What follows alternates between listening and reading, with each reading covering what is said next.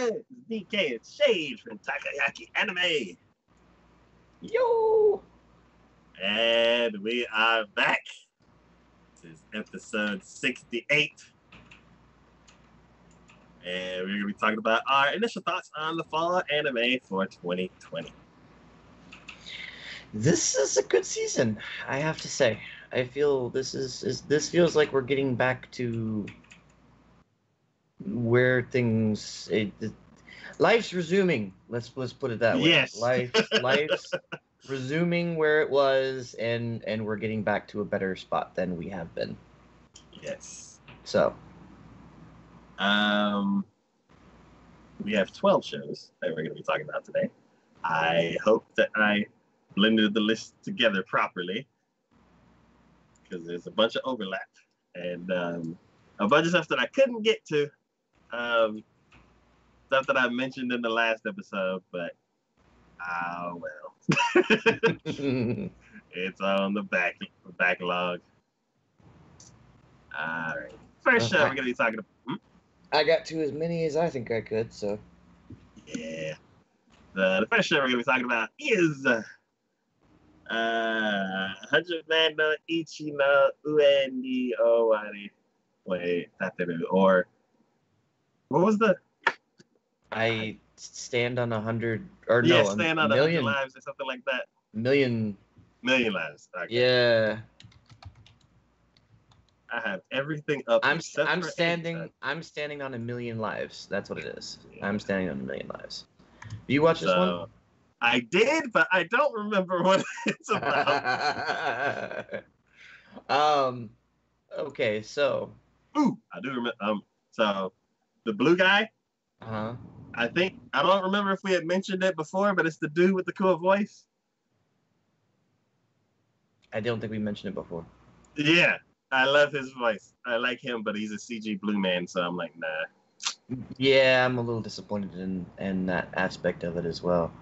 Um. I'm trying to remember what it, what is his voice from. Because now that you say it, I'm like, yeah, and you know what? I do recognize his voice.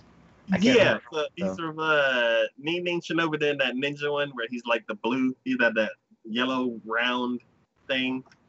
Um, and then he's from from the uh, there's one where I think he was a dog, and uh, I- I know there's a higher profile anime that he's from.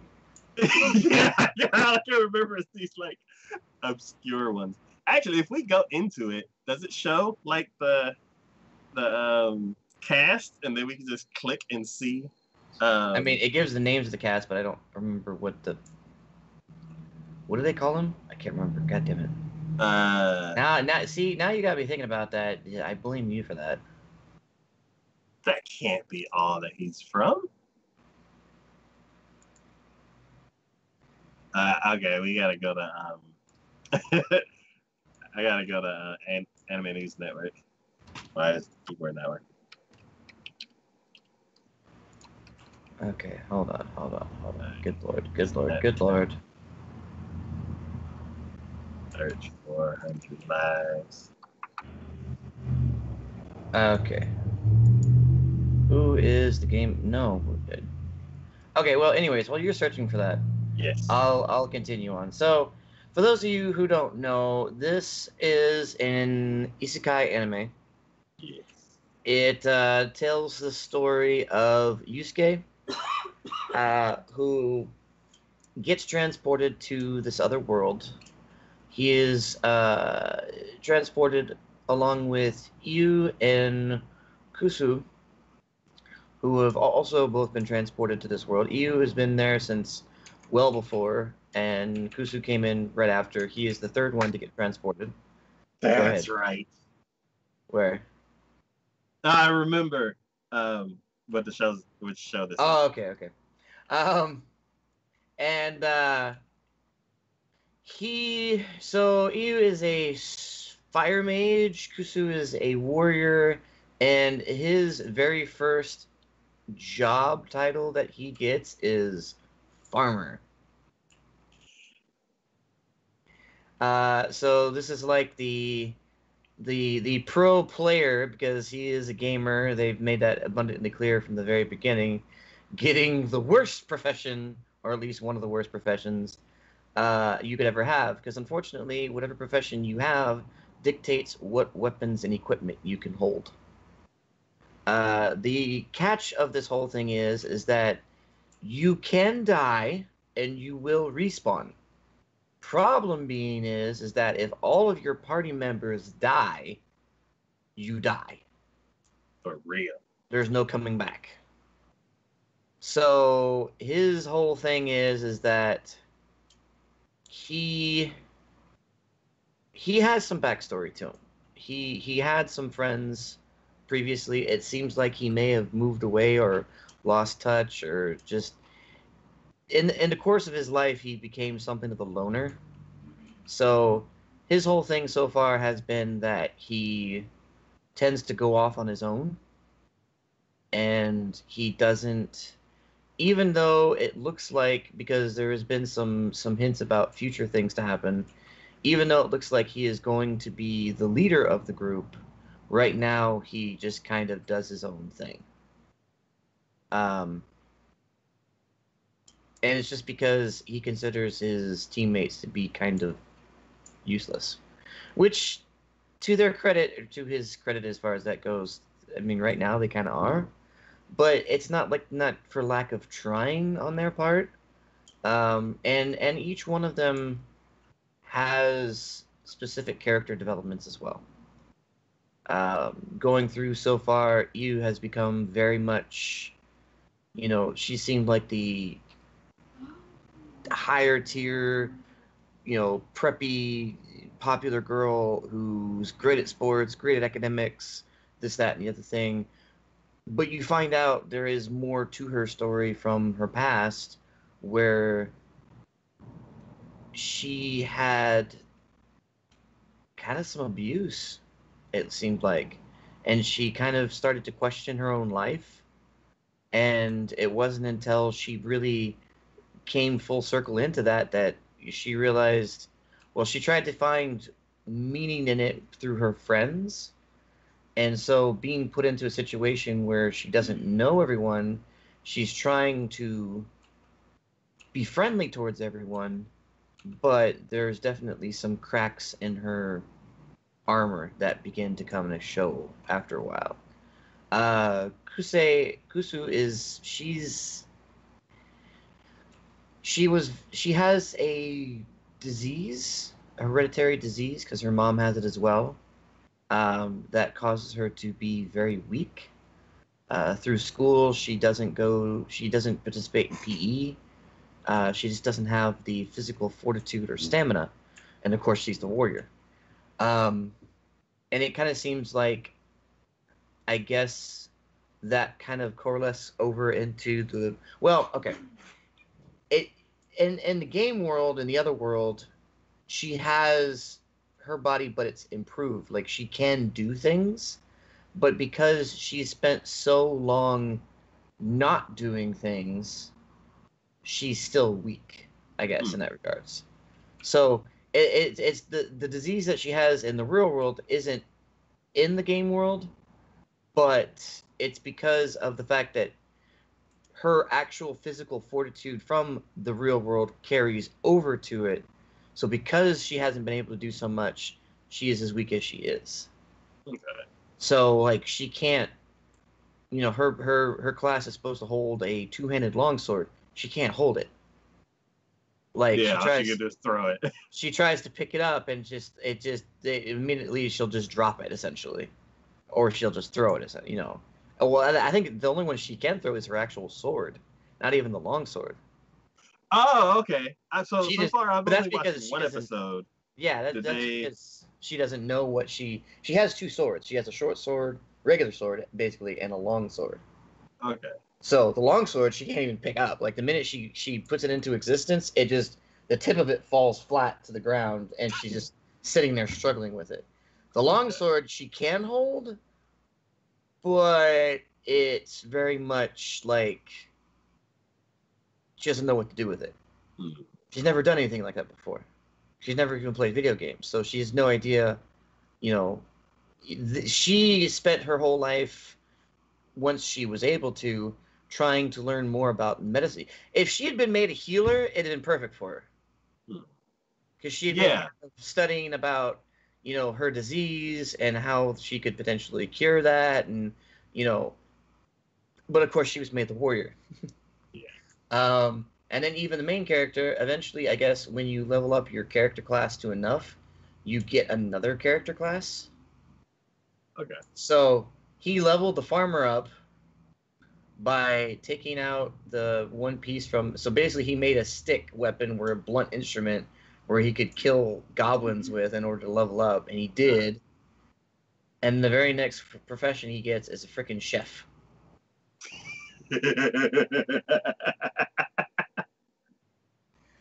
So bonus on that though is at least he got a bladed weapon. It's his butcher's knife or like you know chef's knife. okay. So, and then the the bonus to that also is the fact that because of it, he's able to look at like he's able to look at enemies and kind of see based upon the fact that he can see the meat inside of them, he can see their weak points essentially. Ah, So he he he kind of has that going for him. wow. But literally he's Like- killing things with kitchen utensils essentially. Making the best out of the worst possible situation. It really is. It really is. So, um, later on, they're also joined by another uh, female character, Yuka, um, and she ends up being because the other ones. Oh no no no! So Yu is the wind mage. Yuka is fire mage. Ooh. And God, Yu- Yuka growing up fantasized about being a magical girl. So now that she's in the position she's in, she kind of takes it in that regards as well. Oh my god. So that makes for an interesting dynamic to say the least. Um, but yeah. So looking at the I the uh, I I wasn't sure whether they were going to have more characters, but looking at the uh, list on on AniList, it seems like those are the characters. So our party has formed from where I'm at at least, and I think I'm only four or five episodes into it. Um. So yeah, no, it's it's it's an interesting anime, I will say. Um, they've alluded to the fact that they're because every time you clear a quest, you get to ask the game master one thing. Yeah. Um, and both you Does each person get to ask?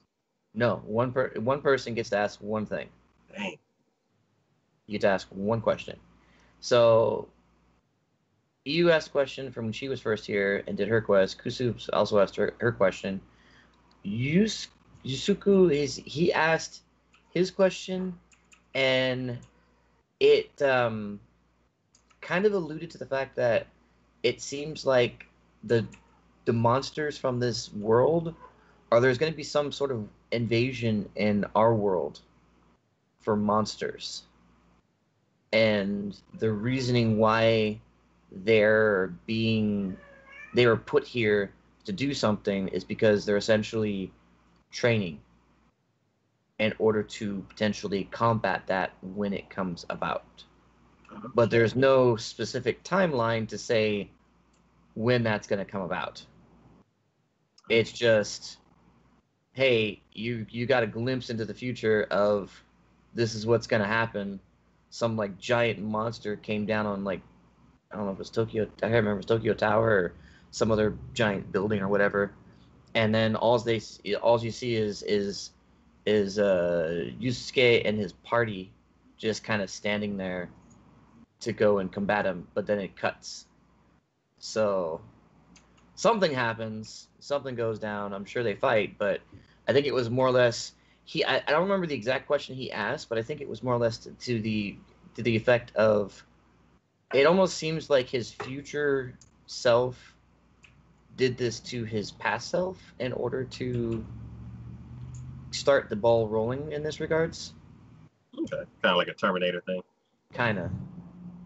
I don't know. There's some interesting things going on. So I, I'm I'm definitely liking this one. Um, I do hate the fact that freaking Game Masters CGI I don't Yeah. see why they had to do that because everything else is not.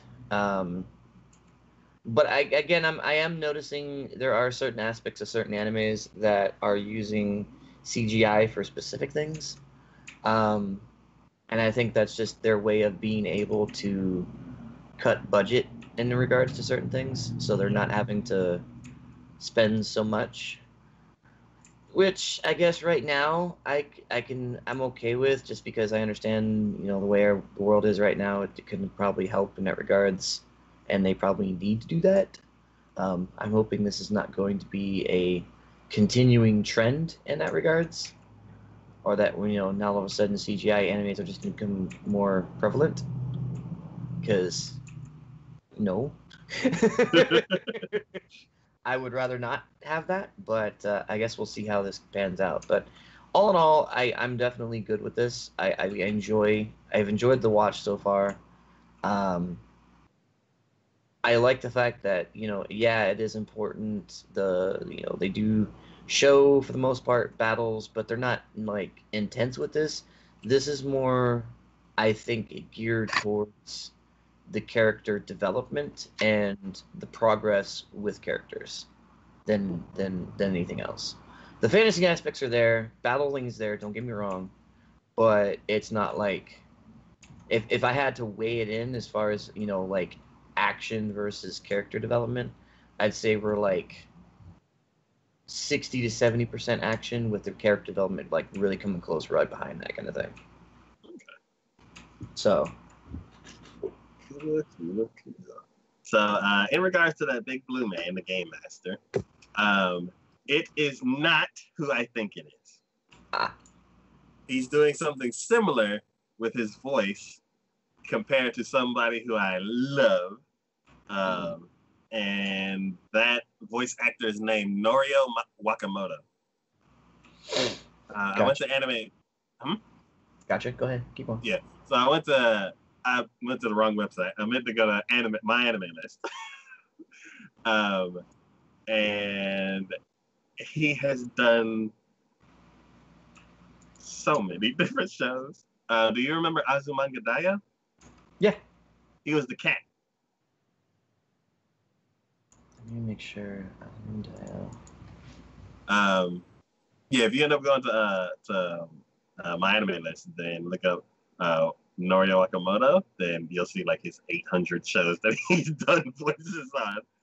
But um, yeah, he is one of my favorite uh, male voice actresses. I like the way that he um, emphasizes certain syllables and like drags certain syllables out, and like mhm. his deep, sultry voice is very soothing to hear. Gotcha. Oh, yeah. Um, I, God, I haven't thought about that in, in years. Yeah. so, um, uh, as far as episodes watched, uh, you've watched five, and Mhm. I've only watched one. Um, it sounds like you like the story so far. For me, one thing that I do like about the um, story is like it takes place in both worlds, hmm and I like how um, I haven't seen the part where they talk about like the um, hereditary diseases that one that um that one character the warrior has, and um, I don't know a background of some of the characters, but I do like the fact that if they have an ailment or a certain situation in the real world, it directly translates over to the um, the fantasy game. world. Yeah, Yeah. Because like um, there's one show that I've seen. I can't remember which show it is, but there is a uh, it may be Monica Magica, but there is a character who is in a wheelchair, and when they go into the fantasy world, I I believe that they can walk fine. No, no, no. Actually, no. They, they have a, a floating wheelchair in the other world, but uh, like they're usually like in some shows that I've seen. I, I believe that like if somebody it's kind of like a power fantasy. They're like, oh, well, I had this ailment in the real world. Now that I'm here, I'm like perfectly fine, and like they get to kind of Mhm. enjoy that. And then if they end up going back, then it's kind of like A big letdown. Yeah, it's a letdown because Mhm. um, they lose the uh, power that they had before. Um, Log Horizon did that. Really? The the character, the what was it? The samurai boy. Uh huh. He was actually in a wheelchair, Okay. but in that world, he walked just fine. Okay. Dang, I haven't watched Log Horizon in so long. I think they're coming out with another season too. Ooh. I think of what I've heard. So, which is sad because Yeah. I do enjoy the series. Don't get me wrong. I'm a really big fan of the series, but uh, Crunchyroll recently lost the rights to season one. Oh, where did it go to? No idea. No idea. But they lost the rights to season one, so now the only thing they have is season two on their website. Okay. So I Um, thought I thought about that, and the reason I knew about it, and someone mentioned the fact that they were gonna watch because they saw season three was gonna come out, so they were gonna binge watch season one and two to remind themselves what was what had happened on it. And yeah, I was, I was thinking the exact same thing. they got disappointed because they went to go watch it, and the only season that's on Crunchyroll is season two. Okay, so um, I'm curious if it's like an Aniplex thing because Aniplex is one of the distributors where I can see like the show just disappear, and the only way you can get it is on their three hundred dollar DVD box set. Um, and then ev- eventually it'll move over to Funny, but I keep calling it Funimation, Funimation. um, and then you'll only be able to watch it either on Funimation now or maybe Hulu. So back in October, someone mentioned the fact the original license holder no longer has the rights to it, and it was just unfortunate timing. Does it still work on HIDIVE? All I get is an error saying I'm region locked. Still available on my region's anime streaming sites. So HIDIVE, possibly. HIDIVE potentially. Okay. The season Yeah. expired on Crunchyroll without any announcement, as happens from time to time. License rights don't last forever. Without an announcement, we'll never know why for certain. Uh, seems to be on Amazon Prime. Okay, yeah, that, that would make sense if it's a um if it's a show produced by uh, that where instead of Aniplex having it, like Sentai Filmworks has it, then it'll most likely go to either Amazon or Hulu uh, or HIDIVE because that's where they put their shows. So, um, if we end up getting like a VRV account, then I think HIDIVE is still on there. Okay. Uh, yeah. Uh, do you have a favorite character so far? Um, I barely know anything about him, so I just like the the first. I mean, thing because she's confident.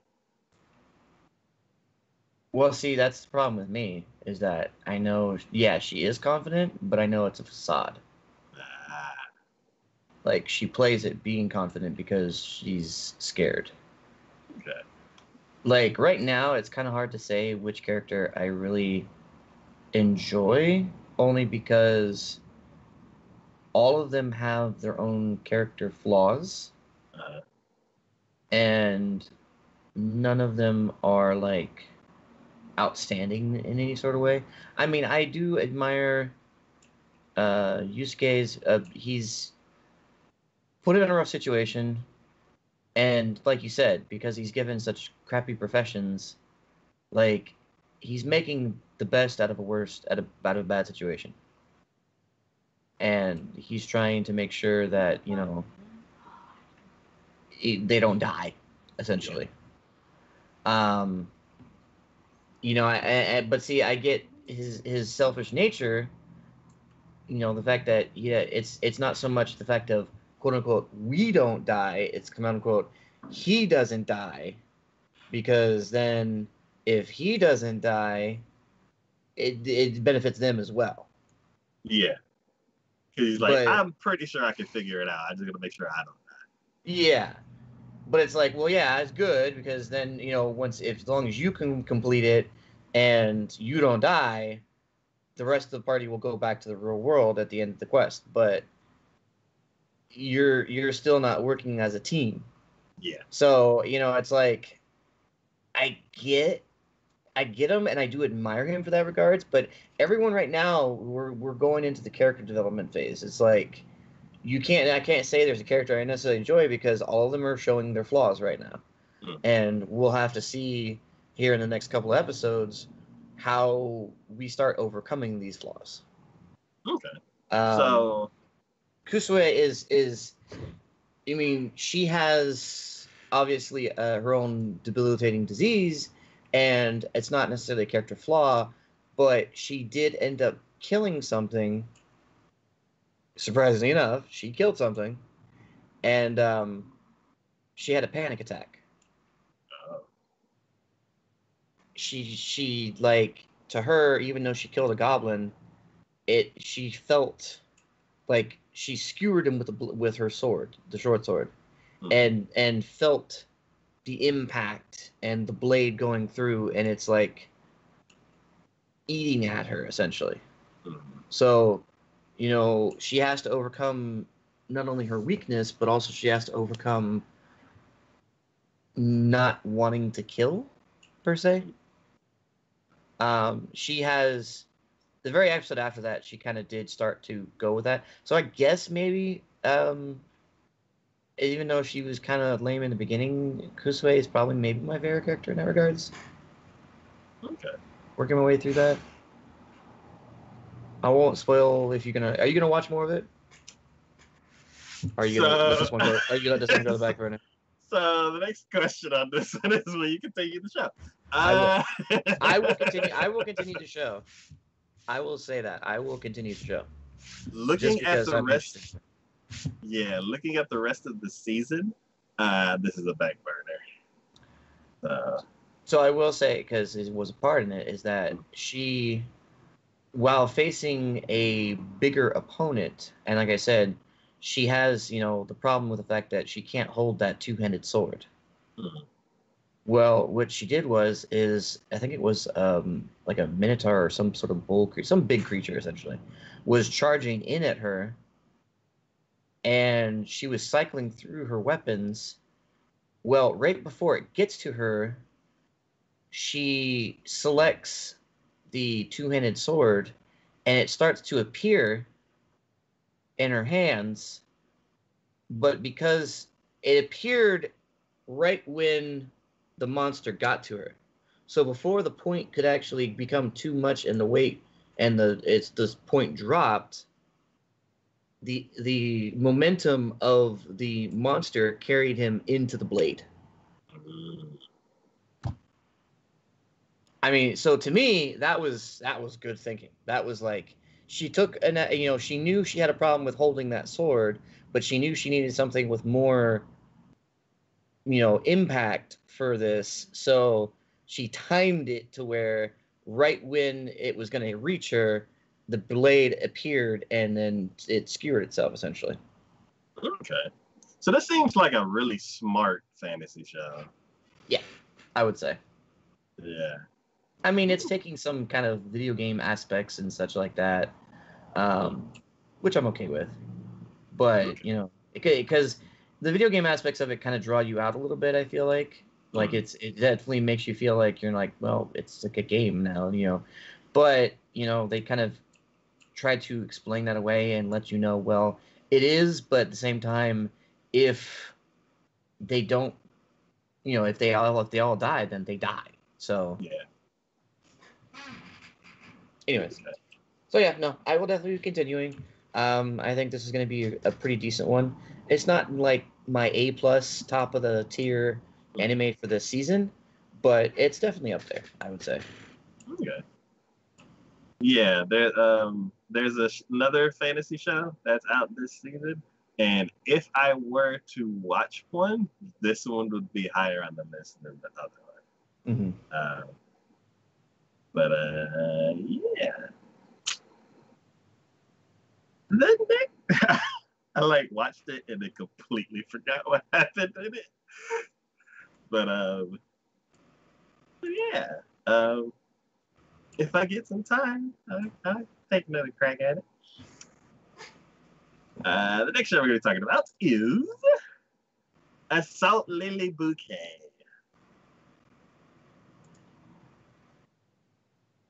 Ah, this is Uh, all you on this one.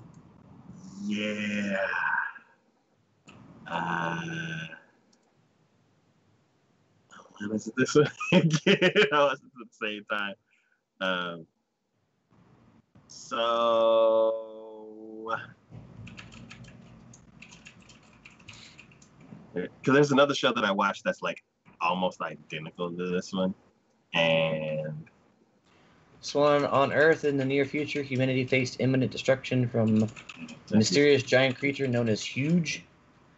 The entire they world have unites against Huge and successfully develops a weaponry known as Charm by combining science and magic. Charm exhibits high rates of synchronization with teenage girls, go figure, and the girls who use Charm are viewed as heroes called lilies. Throughout the world, garden military academy academies are established to train lilies to face the huge and to serve as bases to protect the guide and guide people. This is a story about girls or fighting girls who aim to become lilies at one such garden. Yeah. Um, I'm skimming through the um, the. Oh, okay, okay. Um, so one thing that I do like is the monsters are smart.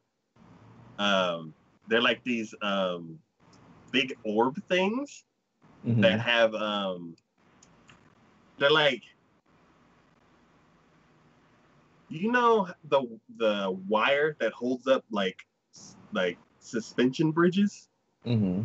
Where it's like a bunch of cables like Cable, intertwined yeah. Mhm. yeah it has a bunch of cables that come like it's what it seems like to me is this this a mass of cables with armor plating around it and then it can shoot out pieces of armor plating Mhm. and use those as like blades and it has like a bunch of different arms um that's one of the monsters that they fought in the first episode and i thought that that like them fighting those monsters was pretty cool um it's kind of the same type of show where the main character is like one of the pow- one of the most powerful characters she has this latent ability and she's going to start at the school she meets one um, girl who's gonna end up being like either her roommate or her best friend, and they're gonna spend time like spend the whole season together.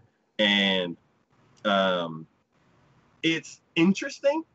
Mhm. Um, there's another show that's similar um, this season, and out of the two, I like the other one better. But I don't remember exactly everything that happened in this first episode because I watched them a week apart, and um, it was in, like I did like the monsters that they're fighting Gotcha.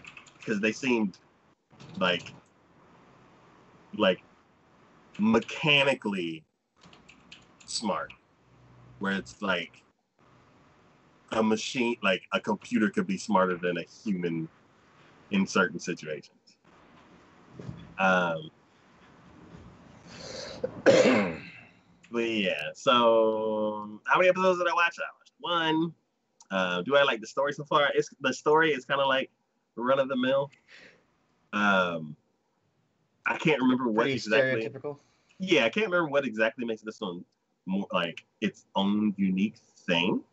hmm Um, I can't think of there if there are any like standout characters. Um, because the main character always seems the more unique out of the um out of the bunch because it's always like the crew that's been there and it's been established, and then how the new char- how the new main character like comes in and kind of changes things. Um, will I continue this? Ah, just like the last one. Yeah, I was like, I was like if, if, if I if I can get time, uh, then yes. And um, but yeah, I like the I like the other one better. um, but yeah, uh, Assault Lily Bouquet. If you like um, girls fighting monsters, and everything mean- runs through an academy. Just looking at any chart, I mean, this is the rating it's gotten pretty low, and it's kind of towards the bottom of the list of the animes for this season. So, seems pretty run of the mill, general. Not we're not really adding anything as far as uh, uh, you know. Yeah, the synopsis seemed made the show seem like more than it is. Yeah. Um, the weapons, they they're like it changes from its haltered shape Mhm. to its fighting shape. Like it like it's like it's a as it sword. Yeah, it's like it's a sword. And it's like when the sword's out, it's deployed. And then we need to put it up, it like shrink like it doesn't shrink to get smaller a holster, it just changes shape and then they just put it on their back. So it's like nothing special. Mhm. Um, but I haven't seen all the weapons, and maybe if they need to power up, it'll change again. But like it's it's predictable. Like the like it's it's not Well, like yeah. the god like the god eater weapons. You already know because you already said it. You guarantee you, yeah, there's going to be a power up. The weapon will change again. So either they're going to change again because they have to power up, or there's going to be some way of actually combining them to where the two join forces or something like that and become far greater than the sum of their whole, and then become and then can take down some big bad dude. I mean, things like that. It seems Yeah. pretty run of and like and then all of that is like the place where I originally saw that concept was Power Rangers. yeah, yeah, yeah. So I mean, like, if you break it like- down to its bare bone minimum, I mean, yeah, I mean, we're talking like you know Power Ranger or um, oh god, what was that older cartoon? Common right? No. No, Ultraman? n- Oh. Voltron. Voltron. Yeah, yeah, yeah, yeah. yeah. I mean, we're talking either Voltron or Power Rangers, depending upon, I guess, what generation you were born into. Yeah. I would say the one show that like impressed me as far as like the weapons being something special is God Eater hmm because the weapon ate the thing you killed and like absorbed the core and upgraded itself. So it's like that. That Well, see, that's a constantly changing, constantly shifting thing then. yeah, and like for this one, it it, it, it just seemed kind of run of the mill. But um, yeah. The next show we're gonna be talking about is Dungeon. Ah, this the the sequel we should have had. Yeah. So I am caught up up to last week. Uh, I think I watched the current one, so that came out on Friday. Yeah. This is this is good. This is Oh. this is the man. season that we should have had following season one. This is the continuation in which they were alluding to coming into season one, going into the next season. I, just- I- you know what? If you wanted to have season two happen, I get that, but it almost seems like it almost seems like it should have been like an OVA or something. Exactly. That's what It should have been like an OVA. I mean, the two things you can take it apart from season two were the fact that now they're in a bigger house, um, and they have more people with them. Yeah. I mean, that's it. And you know, and uh, and the only person that was not part of the original season one was the Fox girl. That's it. I So I completely forgot that she was like the focal point of season two. yeah, Cause because also because we're watching um uh Rem and Ram, what's that show? Uh oh, ReZero. Yeah, because we were watching Re Zero. Mhm. Isn't isn't one of the in not Beatrice. What's the other what's her name? There's another like Fox maid lady, right? Because her her brother is like inside the village thingy. Oh, she appeared for like one episode, and I don't even remember what if that was the case or not.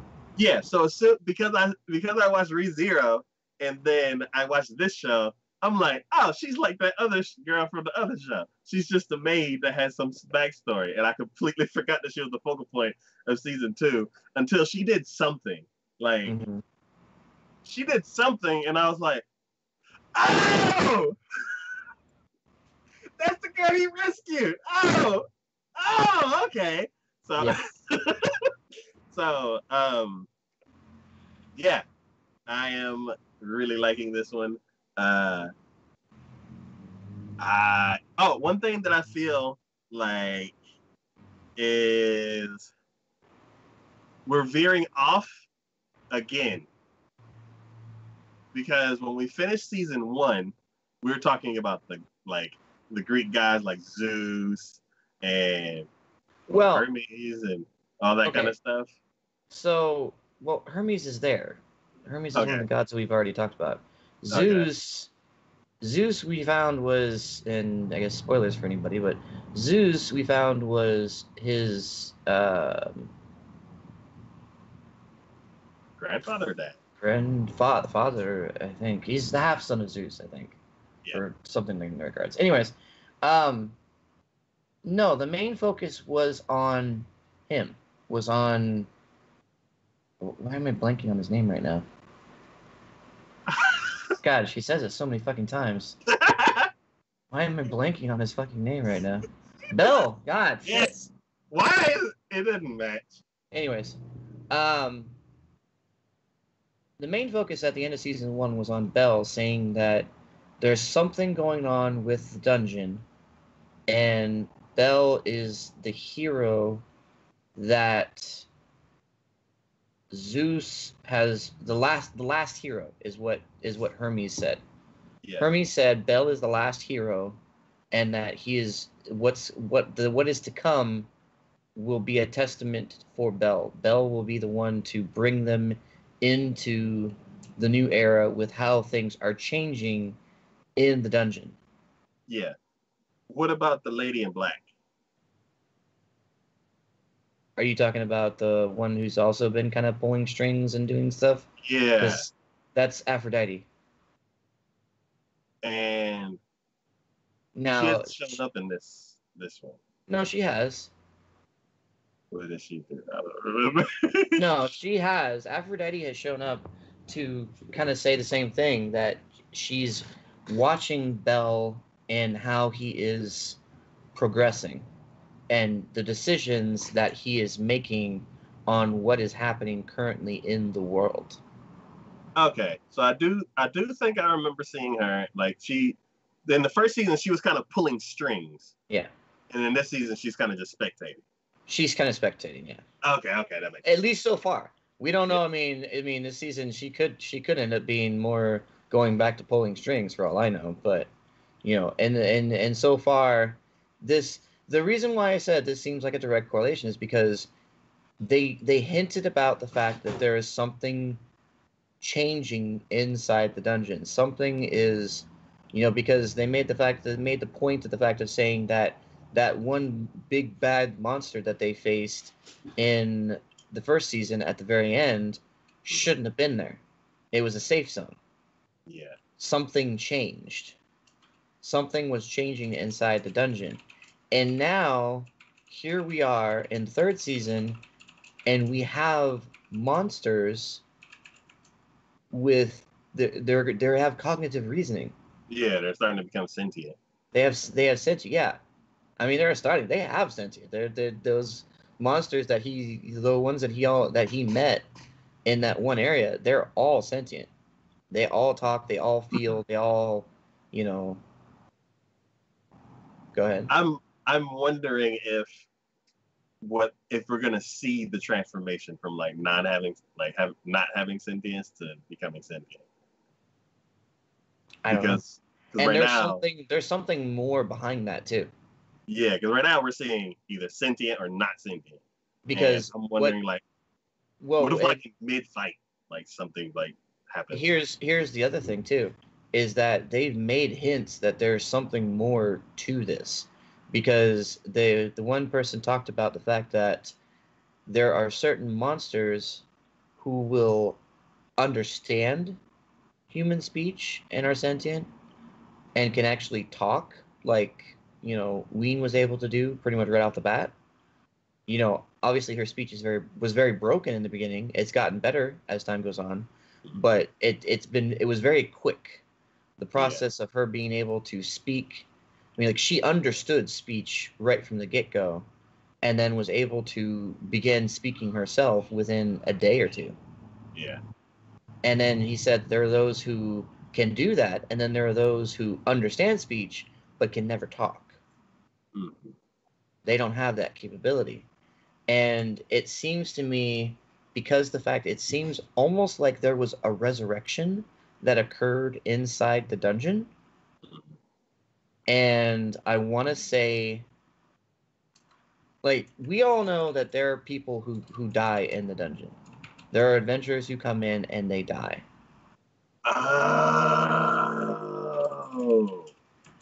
is the monsters maybe some sort of resurrection involved in that but i mean they also made the reference to the fact that monsters themselves get resurrected inside the dungeon so it could be the fact that they're monsters themselves after so many resurrections it's like evolution Mhm.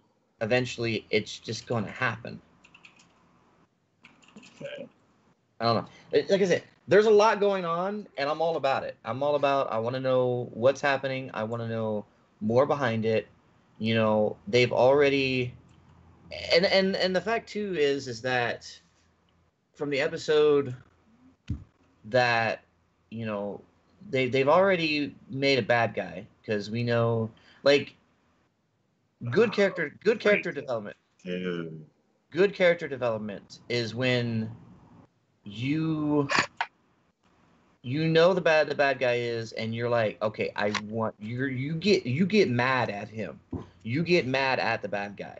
For whatever reason they may have for whatever it is that they're doing you get mad at the bad guy we've never seen this person from this fam- familia until this season happened the one dude with the the spear uh, it's been the leader of this group of the poachers or hunters or whatever. Oh yeah. Never seen him before this. I hate his guts. I want him to die. I, I, need to know. to I need die. to know what he's doing because every like every second or third scene that you see him, he's just like ah stab and something dies. And I'm like, aren't you aren't you capturing those to sell it to somebody?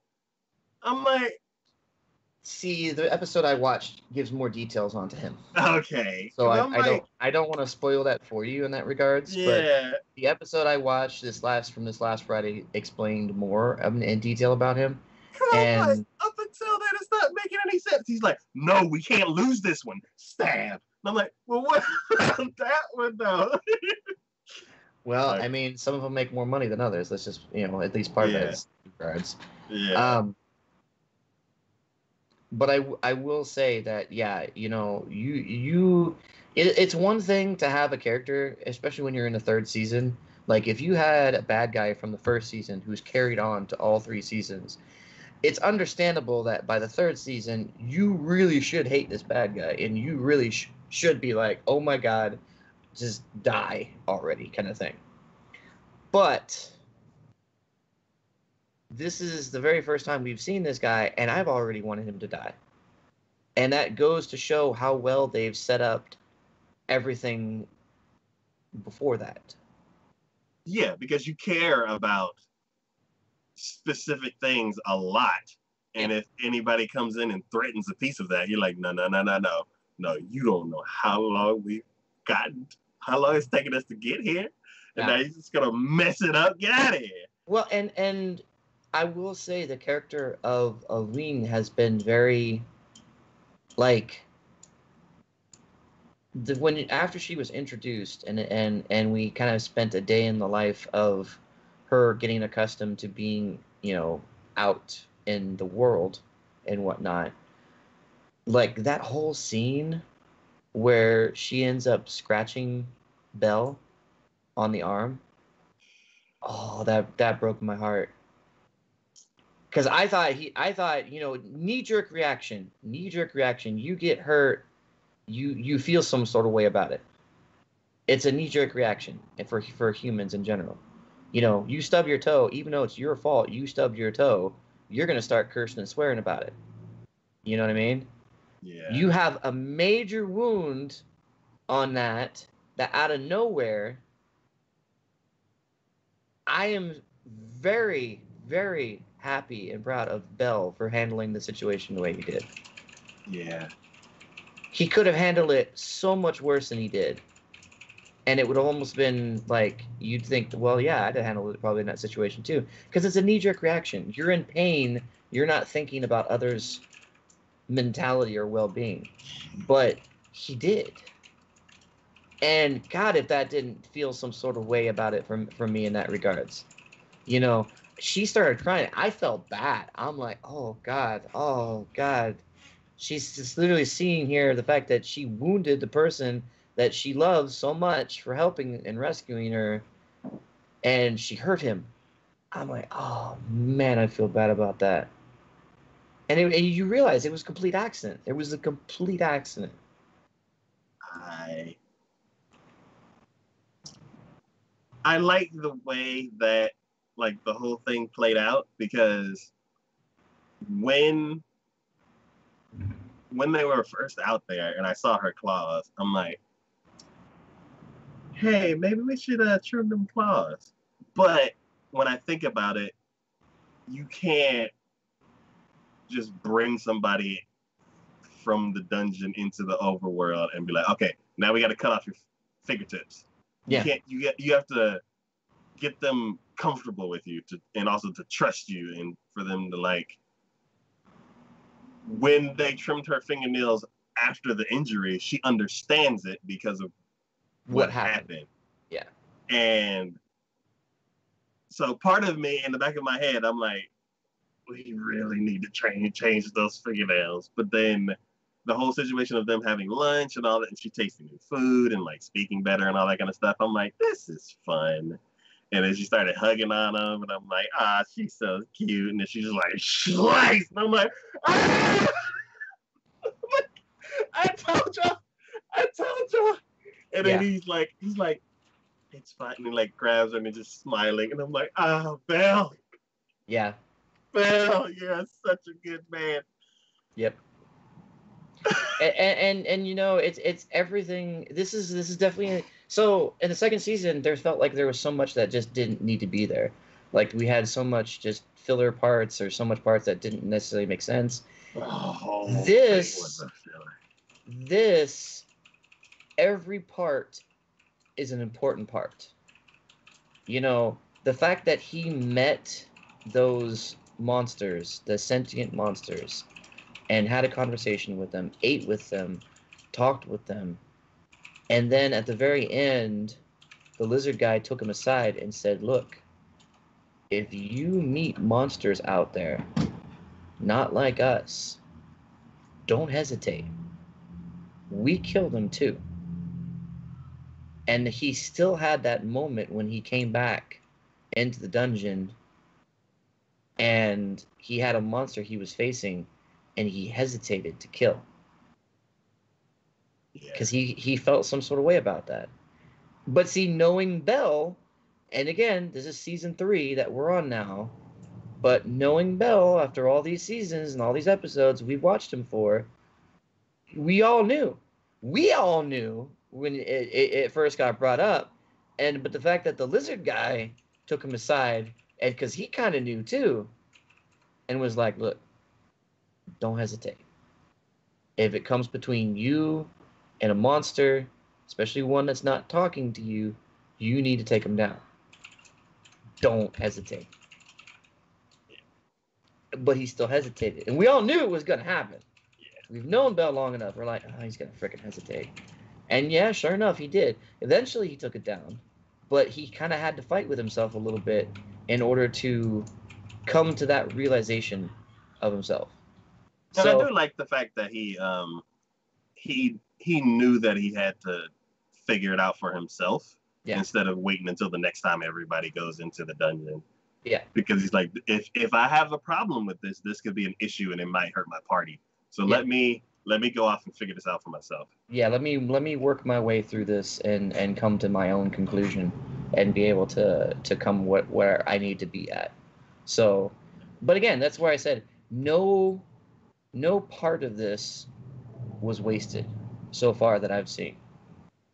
I like Every how part of it has a reasoning. I like how consistent like everybody's kind of treatment of monsters is, whether Mhm. they're main characters or just random villagers. Because like two two scenes come come to my mind where one is when Bell found the girl and like introduced her to his party. Everybody pulled out their weapons and they're like, Bell, what are you doing? And they're just like, and like Bell, you are my dude, but you you're you're crossing a line here, and like Yeah. everybody like turned for a second. Yeah. And it, it Then- literally took Bell standing in front of them and going, "No, I Yeah. will not let you let you hurt her." Yeah, I, And and, you know, and, and if that isn't one of those situations, like you know, you know what I see from this. Now that you said that too, you know what I see from this. That one line from uh, Captain America, where he says, basically, you know, even if the world stands against you, you need to plant your feet for what you know is right, and tell the world, no, you move. And this is kind of that situation. The whole world is against him in regards to what he's trying to do. Now, the people in his party, kind of, at least to a certain extent, are with him in that regards. But the rest of the world, they're against it when it comes And to these. and it's kind of like you have to be against it because one, you have no reason to not be against it, and two, if you're against it, you may die. Yeah. So, um, but yeah, the other um, the other um, part that like kind of hammers in the consistency of like everybody that you know is against monsters. Period.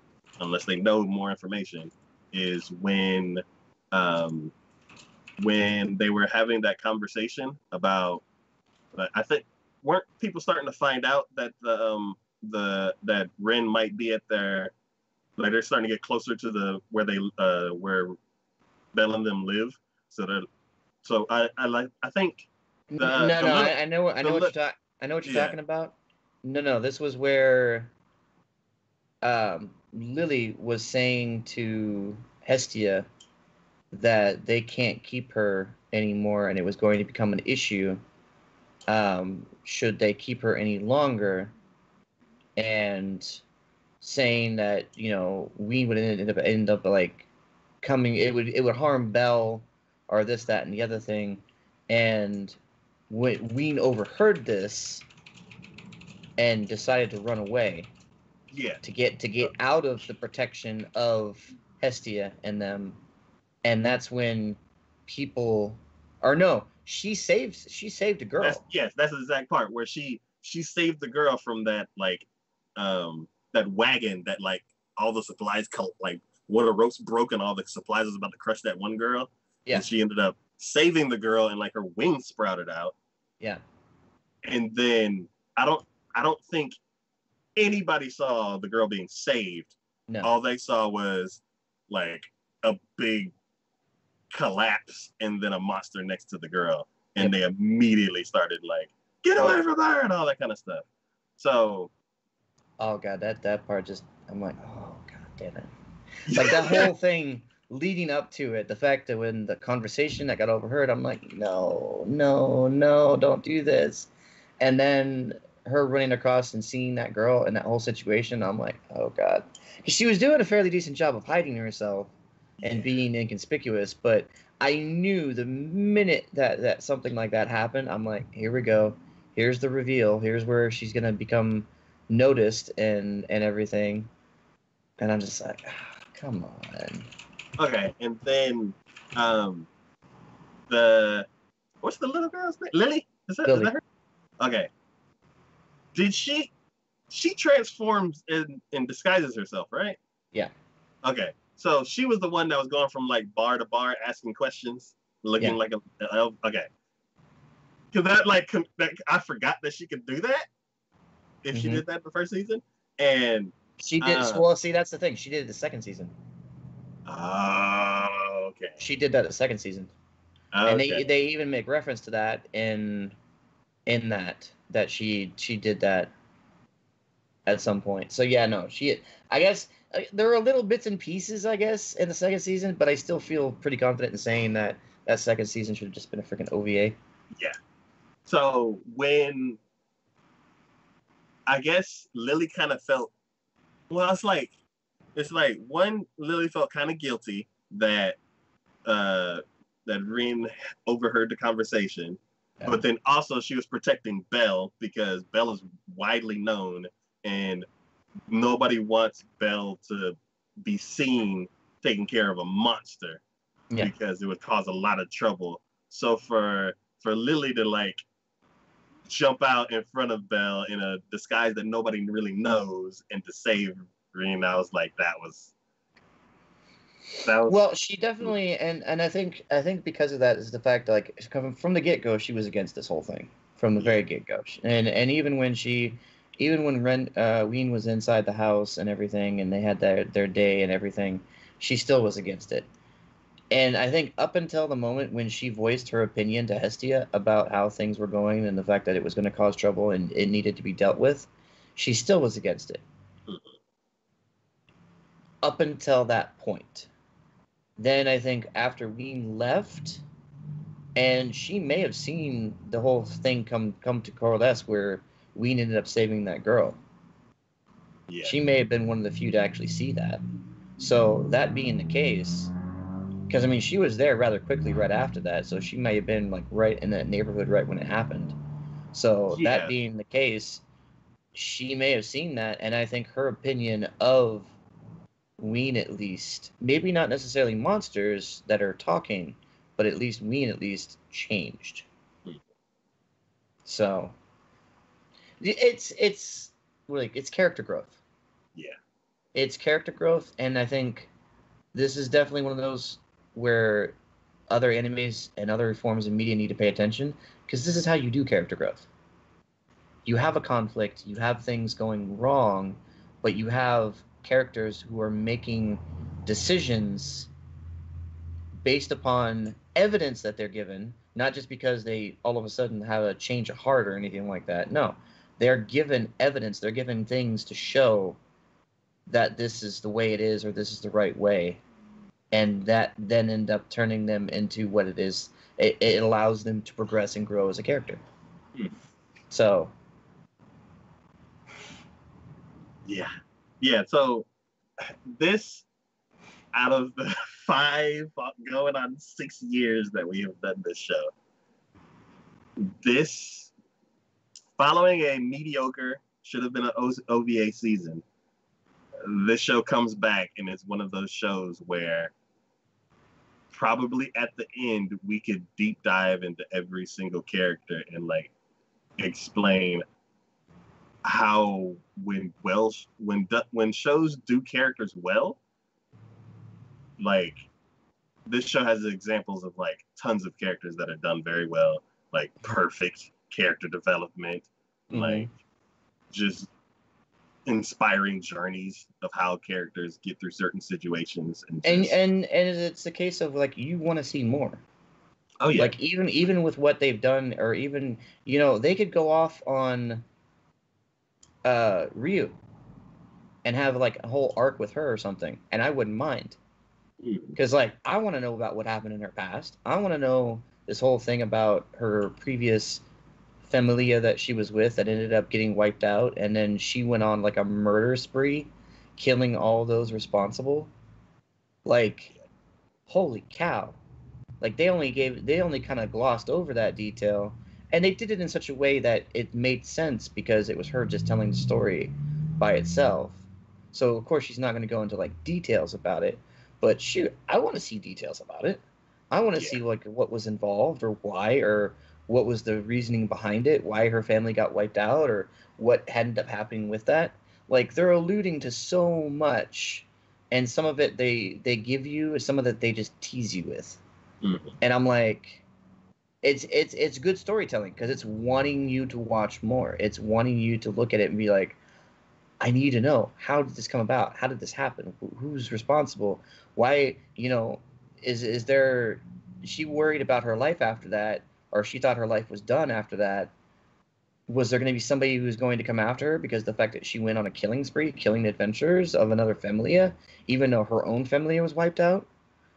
You know it's just you know we've, we've gotten some things on lily and i appreciate that We've gotten a little bit on Welf. I almost want to see more about Welf too, because of the way he is. You know, there's also questions unanswered with him that I'm like, shoot. And then you know, even even though this whole series is called "Is It Wrong to Pick Up Girls in a Dungeon," and it started with Bell having kind of dreamed over Ais Wallenstein. Yeah. This this so far this third season really hasn't like done much with that. You know, we kind of did a little bit with it. Okay, so we did more of it within season one. We did a little bit with it with season two, but it's like we really haven't touched on that in season three so far. You know, but like so, like there's so much more that can be done, and I'm like, shoot, and there's only twelve episodes in this season. Yeah, like that. The only time I remember seeing Ais is when he like talked with her for a bit, and then they just kind of did Yeah. she go somewhere with him, or No, she she she parted ways. I think he like asked her a question, and then she was like, Well, yeah, this is that was when he was having trouble with deciding whether or not it was right to kill monsters again. "Yeah," and then He she asked her gave in like, regards to that. "Yeah," and then she gave an answer, and then she kind of like looked at him like, Well, because She- she knew something was up. "Yeah, I mean, I think she uh, she's not dumb in that regards. She may be soft spoken and doesn't. She's one of those who listens more than speaks. yes, She observes, and and and kind of is choosy about her interactions, I guess, and such. yeah," So and she doesn't like emote much. no, no, she like, doesn't. So like, it's there. I feel like Yeah. it's there. yeah, it's all in the eyes It's in like, the eyes, and and and she, her actions are what speaks more than her her actual emo, like facial expressions and emotions and stuff like that. Yeah. You know, because like when you talk about it, the fact that like when when Bell was leveling himself up in like the first season, and it was like after that Minotaur fight that they had, Mhm. and it cut back to um, Ais and them and her and her familia going and and going through the the levels of the dungeon and everyone else was fighting and you see the their their their leader up on the the ridge with Ais and everything discussing the fact that you know one of them was like wow everyone seems to like amped up and they're like well they saw they saw a fight with somebody and and I think it kind of inspired them.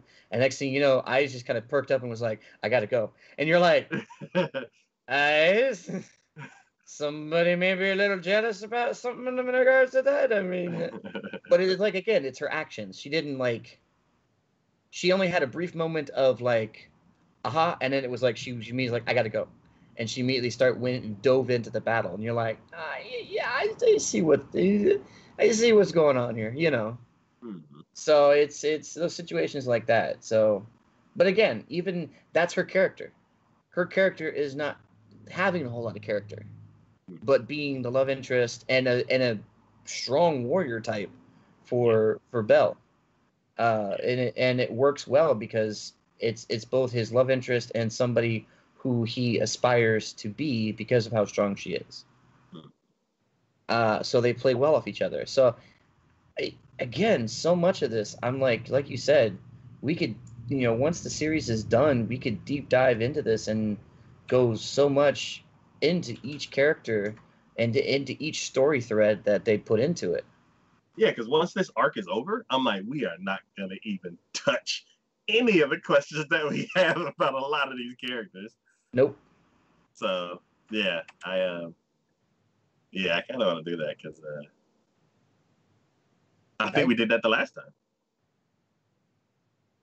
A little bit. Uh, It was more, I think for the first season.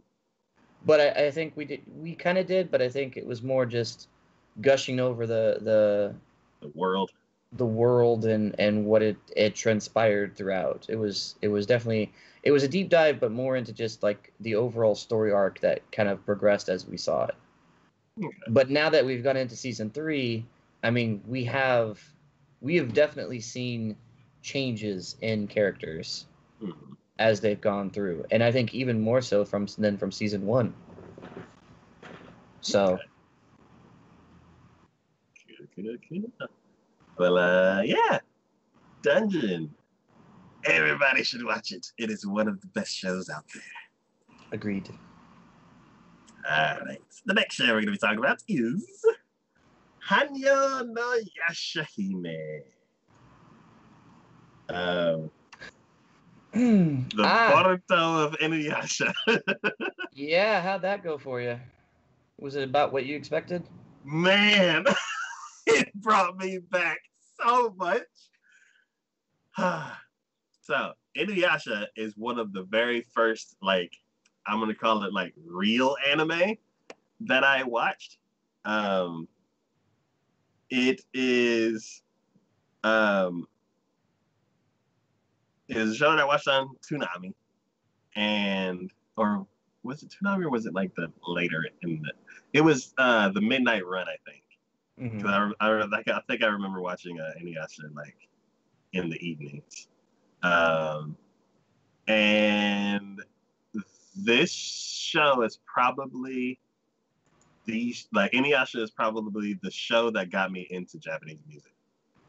Um, it was an engrossing story, and like the the outro kind of had a certain mood that that like matched the show. So normally instead of um, the show playing out and then all of a sudden it's like, well that's over. The end of the episode. And I'm like, it just completely throws you off. But this one, like, it sucked me in. It was um like a really, really nice song. I think it was by Dream. Um they had like a Ferris wheel and a red rose and like I don't know. Like Inuyasha as a show is like very big in my anime history.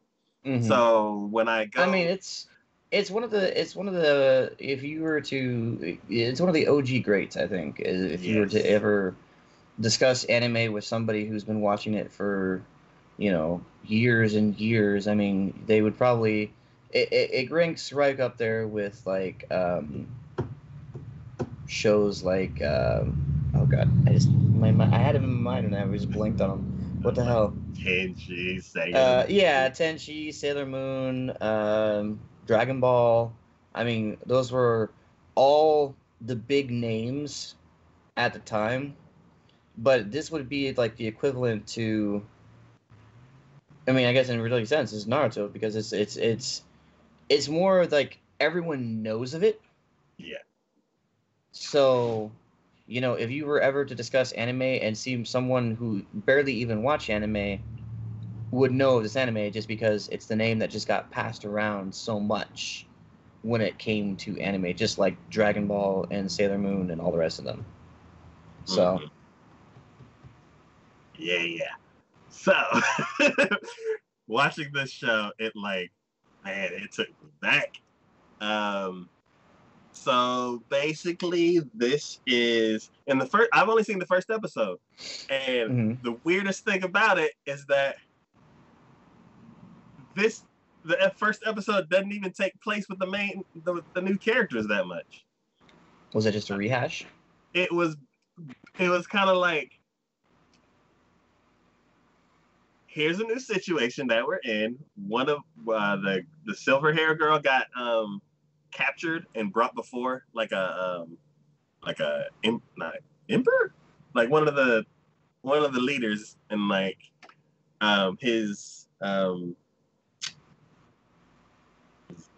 not assistant like the guy that's like it's second in command that like get relays information to the emperor. I'm, I'm just saying all the wrong terms. So just uh yeah. So basically, the, the second in command that relays all the information to the emperor. He Uh-huh. brought in um the silver haired one. I don't know their names yet. and um they You're talking about the silver haired one that's on the yeah Towa. Towa. Yeah. Okay. Yeah, he br- he brought in Towa, and she, um, it's she doesn't know that they know information about the world. Hmm So she got captured, and then they brought out um they brought out this uh, rusty bike seat, and they're basically like, "Do you know anything about this?" And me, I'm like, "Hey, is that Kagome's bike seat?" and she basically gives some vague information because she knows what that seat is, but she doesn't know that they also know about it. So she just says something, and then attendant is it his attendant? Like he basically goes into like a flashback or like a history lesson, and it's basically an episode of Naruto with like there's um there's this uh this one monster that um is a ball of hair and Mhm. it gets or and it's mixed with roots or something like that and it basically decapitates people and takes their skull to like to gain power. And it just happened to come across this battlefield so it ended up just grabbing all these skulls from all these people who died in that battle. And um so it spreads across the, the land and um, starts springing up whenever it finds somebody who's vulnerable who, could, who it can attack. Um, Inuyasha and the gang they get wind of it and like they start um, basically attacking it in spots that it's um, causing trouble Mhm. and eventually uh, Inuyasha and Kagome find like the piece of it that leads to the root, and once they start um, attacking that, then all, the whole gang shows up, and then they end up defeating the root. Um, and then it go it goes back like after that story over, it goes back to Towa being um, interrogated by those two guys, and then um, her two friends, or are they like they may be cousins or something? I don't know if they're all related, all three girls. But the 2 Mhm. twins come bust in the house, rescue the other girl, and then they all flee. Um but yeah, that's like the format of the first episode. One thing that I really, really, really like is the styles of monsters haven't changed. Because in the first episode there was a um there was this lady that controlled hair. Mhm. i think she like came from a cursed comb or something like that. Like, like a comb that was used to comb the hair of the dead or something like that. And the um basically the root of that monster was this gigantic ball of hair and it had skulls and stuff hanging from it. And this new monster looked just like that monster like and like art style and everything. So it's Mhm. like it made it made me very very happy. So what's gonna happen with this show for me is that it's gonna fall to the wayside because I don't want to watch any more of this without finishing Inuyasha. Inuyasha is 167 episodes. I was about to look that up too, and I was like, how many episodes is that? Oh, good lord, dude. I've seen 90 of them many, many, many years ago. So Yeah, kind so of- I have to start over. I was about to say. Yeah. So there's Inuyasha, the 167. Then there's Inuyasha Final Act, which is um, another 26, I think. And then there's Yashahime, which is this one. And one thing that I hope that's different is unlike Boruto, I hope that I don't feel like I'm babysitting.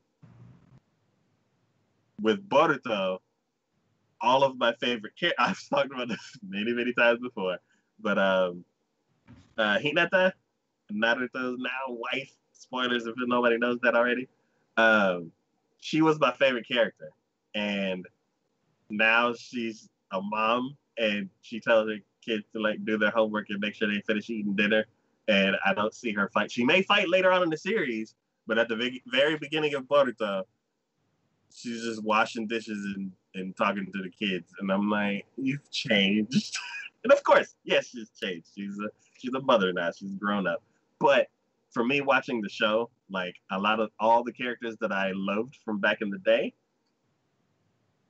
from what I've seen at the beginning of the series, they're not doing that anymore. And I feel like I'm still the same, and they're not the same anymore. So I lost interest in watching Boruto. See, that's that I can't I can't fault you for that. Because that's the same reason I stopped watching Naruto. Kind of. Mhm. The fact that you have a character who had been built up for this entire, you know, whatever, however many episodes was the big bad main villain, and everyone was like, "Oh my God, they, we can't kill him," and he killed multiple, multiple important people, and then gets easily dispatched by Sasuke at one point. point, and you're just like, Ah, yeah. "What the hell just happened?" like that just killed it for me, and everyone's like. But he comes back, and I'm like, I don't care. I now I'm gonna look at him and like, you're a little bitch. I can't take you seriously anymore. You got killed so easily by somebody who you look down upon and think beneath you, and yet you've tried. Yet you're a little bitch. Go away. yeah. So, no, I completely agree. Uh, to me, I'm like, yeah, you changed. I don't know what the Yeah. fuck happened, but you changed. so yeah, um, I hope that this show, like, is its own entity in the same world. Yeah. Because, yeah, I don't know. They seem older than like the Boruto kids, so um, I hope that it's different. Even though what it is weird because like the only thing that I've seen from this new series is basically an episode of the old series. so I'm like, yeah, get him real good. He's like, oh, I wish I had the wind tunnel. And I'm like, what happened to the wind tunnel? That was like the whole thing. It was gonna it was gonna swallow you whole, and now it's gone. What? I need to watch the first series so I can figure out what happened to the wind tunnel. So, um, yeah. Oh, and then like his brother sh- says, Sesshomaru shows up. hmm He didn't do much. He's just kind of like, I'm here, and then he like floats off. and that dude's like, wait for me. And I'm like, oh yeah, he's always like running off and he's chasing him. So so I'm like, ah, it just brought me back. Um I don't if you like Inuyasha, watch the first episode. I don't know the rest of it, but uh yeah, I love this world. I love the the old characters. Um, I have high hopes for this new one, but I don't feel like I've seen anything from this story yet because it was kind of like a welcome back kind of episode. hmm Um, but yeah, my Inuyasha's world. The next episode we're gonna be talking. Next show we're gonna be talking about is Higurashi. Uh, yeah. This, So how much of this have you seen? Um, I, I, I've so far I've held off on watching this one. So far, I, Okay. I, I, I feel like this is one that I, I want to dive into more. Um, When there's more of it. yeah.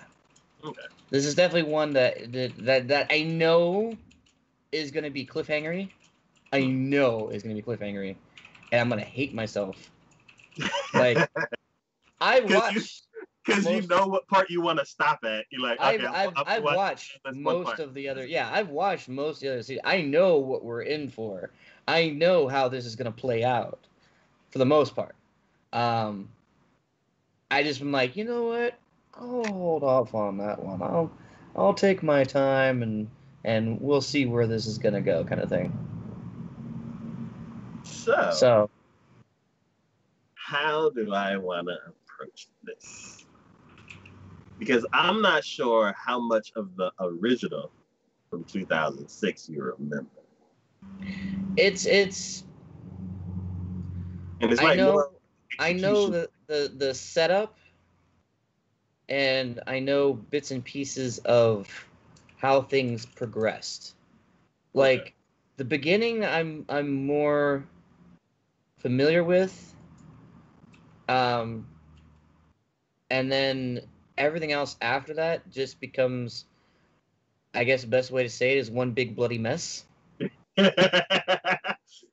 Yeah. Um, but yeah, it's definitely one that I wanted. I want. I I I knew. Okay, so I knew I wanted to have more of the episodes in front of me before I started to dive into, and I thought that maybe going back and looking at some of this might be a better refresher than trying to dive into the new one right off the bat too. Yeah, so I'm all over the place on this show. Um, so I watched the first episode of the new one, and then I was like, yeah, yeah, this is a remake. It's gonna be a wild ride. Oh yeah, no, it is going to be a wild ride. I'm like, it's gonna take me back to some terrible memories, and then it'll be over. Um, but I didn't. I don't know. It's like See, I I think so because the way they set it up. If you don't, if you come into it fresh, having no previous experience with the re, the previous season, coming into this fresh, it would just be mind blown. You have to watch the next episode and see what the hell happens, because it just it takes you so off guard you know it's like um school life Yeah. I'm not to spoil anything for those who haven't watched that because you need to watch that. Anyone else out there just watch the first episode and and and let me know what you think. But it's it's it's after having watched that first episode that you become hooked. You won't think you're going to become hooked. You don't know you're going to become hooked. But it's after watching that first episode that you're just like I've got to find out what the hell's going on or what happened. It's the same with this. But once that realization passes and once the understanding of it starts to coalesce, going back into this now from the previous having known that, you're not as nearly as like riveted and oh, I got to see what happens next kind of thing. yeah, You know, the the the the shiny wrapping on the outside has has been taken off for you. The surprise is no longer there, and you're more like, well, I know what I know what we're in for. And that's not necessarily a bad thing, but it's not going to have the same draw for you as it would for somebody who's going into this blind. yeah. There will be uh, if you watch the original back, I guess when it aired or shortly after it aired, and then you haven't touched it again because why? It's like why would I put myself through that again? Until now, it is getting you're like, oh, okay, this happened before that, that happened after this, and then I forgot about A, B, C, and D. Mm-hmm. And then maybe seeing those parts, you're like, oh, that answers questions that you had back in the day. Yeah. Because you didn't you didn't need to you didn't know you needed to know that part or you didn't see it the last time. Yep. So rewatching it, it's really cool because you find new little nuggets or come across nuggets that were cool back in the day. Yeah. My issue with this, and I don't know how to approach this show anymore, is it's like a 1 to 0.95 remake where the same exact stuff happens in the first episode Mhm. across both series Mhm. and they may be doing a brotherhood with it where they cut out filler and they make what's supposed to be there a bit more detailed. Mhm. Um, I don't like new Rika, Okay. and I don't know if I like the execution of this newer one. Um, so I'm trying to figure out like how to put it to where it doesn't like have you looking for what I'm saying? Mhm. and um I don't know, kind of like take like ruins your enjoyment of the show. So um Yeah. like I said, I mean, this was definitely one that I, I said to myself, and I said from the very beginning, I'm I'm definitely of the mind and and of the because I know how a lot of this plays out, and maybe not like specific details in a lot of ways, but I know how a lot of it plays out, and I know the shock value in regards to that what's funny to me is is that there was that whole incident with Goblin Slayer where things went after the first episode, people went absolutely batshit crazy because of certain details that happened in that one. yeah. And now I look at this one and I know, I know the batshit crazy shit that happens in this. You're like, ah, how's And we're already- take this? we're already at episode seven, and what makes me kind of laugh is I haven't heard an outcry about this at all. And I'm like, if you guys got upset about what happened in the first episode of Goblin Slayer, and you're not getting upset about the shit that happens in here, and I know oh my, how bad and graphical this one really is. I'm like, where does that? th- This really makes this more of like almost like a social experiment where it's like, how how are we defining what's bad and what's not anymore? Because, oh my, this is just to me so much worse than anything that could have happened in in Goblin Slayer. But here we are, and people are just accepting it, and I'm just like, I don't know. Maybe there's not as much popularity. Maybe there's something else is is there's another factor I'm not looking into here. But it, it just I I expected so much more when this came out because of how how long of a gap this the original came out for this versus where we're at now. And I'm thinking how many generations grew up not having watched the original and to now be able to see it even if it's a remake, I mean, now they're able to see it. I'm like, this is messed up. Where Yeah. are we? How are we accepting of this kind of thing? I'm curious if it was a new IP, like what would it just completely fall in between the cracks, or would people be like?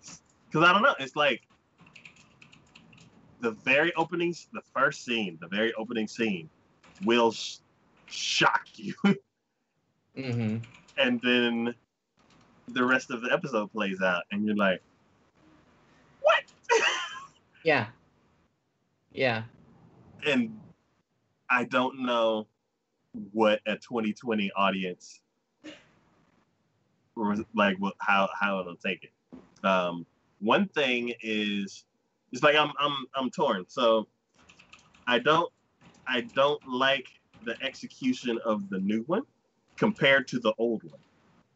But the animation of the new one blows away the old one Mm-hmm. And then the fact that there are parts in the old one that I could consider filler that are stripped from the new one. Mm-hmm. But character development is not in the new one. So one thing that I Or at least, at least so far. I mean, you've only you've only watched the first episode, right? well, okay, so I feel like the new one is missing so many different things. I don't know who's directing it, but I feel like it's either not the same person or it's kind of like a Star Wars uh, prequels kind like kind of thing where it is the same person, but they've like evolved in their career and they're like, nah, I don't want to do it like I did it back in 2006. I want to do it this way, and I hate the new way. Mm-hmm. So, um, basically, the new one I feel like I got thrown in to a bunch of stuff happening. And because I don't remember the old one, I'm like, oh yeah, the school was set up this way. Oh yeah, this person isn't here. Oh yeah, this is that. If you didn't know that, I'm like, one, I'm paying attention to stuff that's not there because I know what's coming. Mhm. But for somebody going in like fresh, like one thing that I um there was a show uh I think we had mentioned uh movies. Um like the Transformer movies. Um over time I feel like the Transformer movies became mean spirited, like like pick like joking and picking on each other is can be cool for if you execute it in a certain way. Or it could just be a show full of jerks. Like I feel like this show, they're ex- they're not executing it properly, and like the little blonde haired girl, she's a jerk Mhm. in my opinion. But in the original, I feel like two of the characters are just fighting each other all the time because that's what they do. That's what they're they're playing back and forth, and I Mhm. feel like a lot of that's missing. So what I Now- would do is Was is that is that because? Uh, now here's an interesting question about that. Is that because that's the way you're perceiving it now, or is it because because of the time lapse in between when the original came out that you watched and this one, you've changed in your opinion of something? so what I did is I watched the epi- first episode of the new one.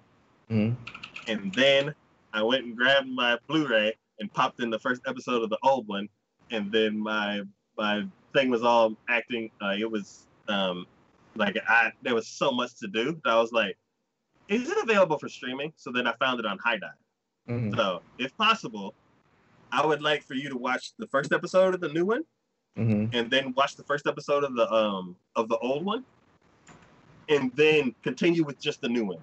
Or when you get to that point, like we can have like an offline conversation, so I can like figure out how we want to like do this show because I feel like the execution is completely different. Like one thing mm-hmm. that I miss from the old one, like I, I just watched it like earlier today, and I'm like, why didn't they do that in the new one? Is Keiichi, the main guy, he mm-hmm. narrates the beginning.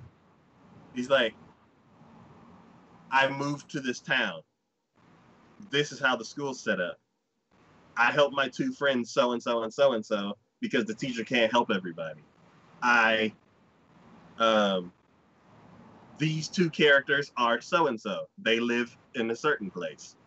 And then every time the girls pick on him, he like has a reaction hmm like it all seems like everybody's friends. And the reason why i know that is because he explained that they're all friends and they Mhm. all like have crazy banter. There's also a card game that they play in the first episode that also shows like how close they are and it's not in the second it's not in the new one. Hmm so i'm like i one thing i want to know is are they going to do a brotherhood where they strip out all the filter and flesh out the rest of the story? Or are they cutting out the filler? Because that never happened and this first season is not even going to be the same as the old one because they're going to like go like three episodes in and veer off like like brotherhood did. Hmm so i have no i i have no idea how to approach this one because the way i feel about the first episode i don't know if i'm just going to be sitting there and hating the whole series be like why Man, it wasn't- cut it that wasn't out like- it wasn't like it used to be, man. yeah Yeah, it used, it used to be great. mean now. Mm. Like, also, do you remember that um, whenever something was happening, I the uh, I people's changed. Mhm. I didn't either. I either the way they executed it, I didn't notice it, or it doesn't happen. I can't remember, but like, no, I, I saw I saw little little bits and pieces. Just even watching that preview, just real quick, I saw where that happened. Okay, okay, then there's there's like in the first episode where they deny, like he asks a question and they deny it.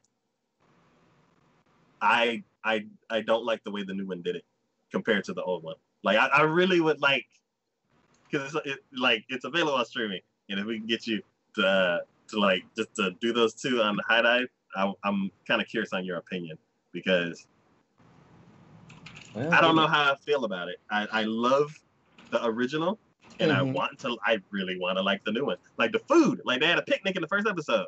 The food looks so good in the new one. I'm like, oh my god. And then I watched the old one, and I'm like, I kind of want the food from the new one. oh, like, and like even like they like fought over hamburgers, and the way that they e- executed was like completely different. And I'm like, ah, I don't know. I kind of wish I didn't watch the old one. Well, I will say, give me on HIDIVE, and I'll go for it. I'll see what I can. I'll I'll, I'll take I'll take a look at it. Okay. But um. I do think it's funny that I, I mentioned School Live um, as a kind of a, uh similarity in certain ways to this one. uh And going on to AniChart, they're under their recommendations is School Live. yup.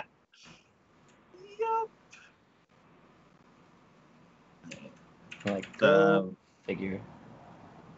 so yeah, I don't I don't know if I'm like. Well, like a I'll say then we'll leave it at this. Um, I'll go ahead and give me on to HIDIVE, and I'll I'll take a look at it on the first episode, and I'll compare the two. And who knows? Maybe I'll I'll watch both and just kind of go back and forth and just kind of see That Well, would be interesting if one we, episode did- on this, and then one, one episode on this, and then one episode on this, and one episode on this, and and see how well they they coalesce, or if there is like some pretty significant changes involved. Yeah, that's interesting. And it's like there's three seasons, well, two and like a sh- I think the third one's short, Yeah. but um, Well, I'll stick to at least the one that they have for right now. Is is what what they're, they're what they're redoing. yeah, yeah. I'm just, I'm just kind of expanding on like the whole story because I'm like, what if they just, what if the reason why they're cutting out the fillers because they condensed seasons one and two into one thing?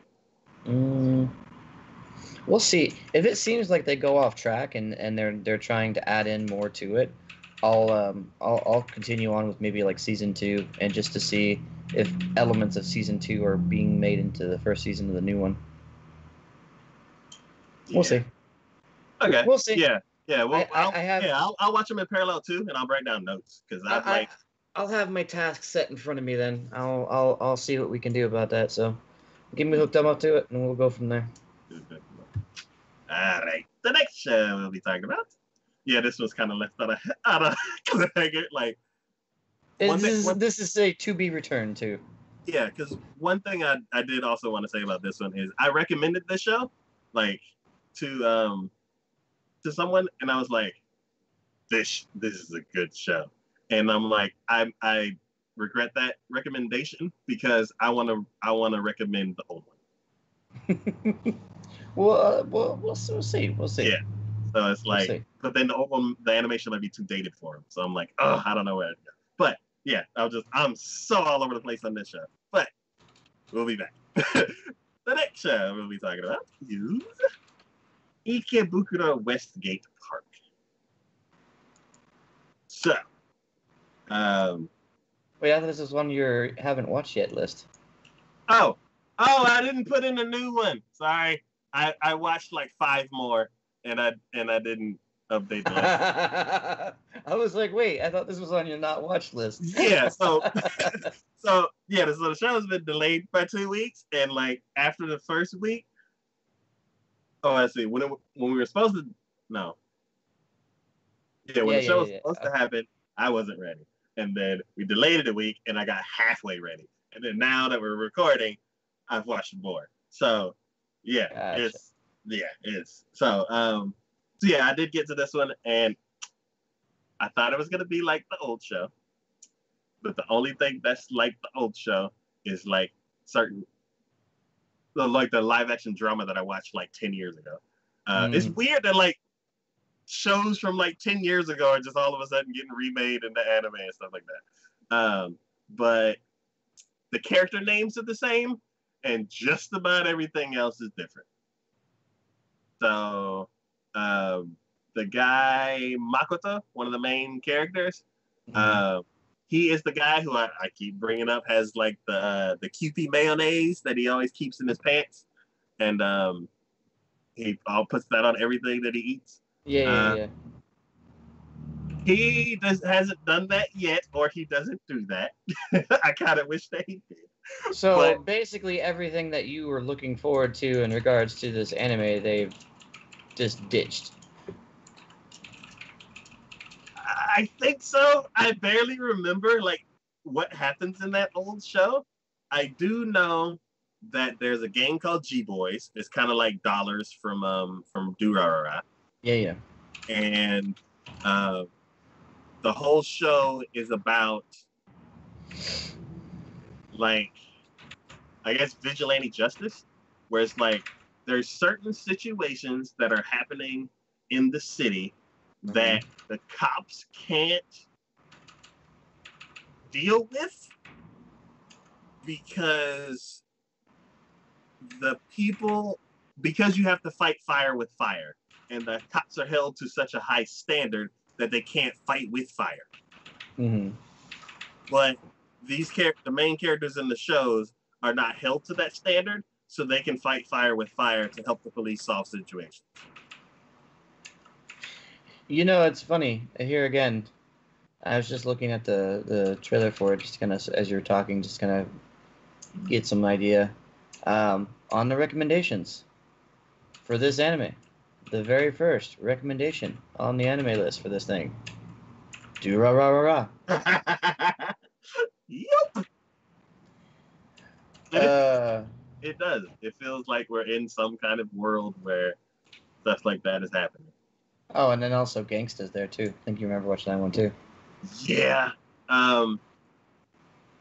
Yeah, I, I think if you mixed Durarara and Gangsta, you would come up with something close to this. Um. But yeah, it's um.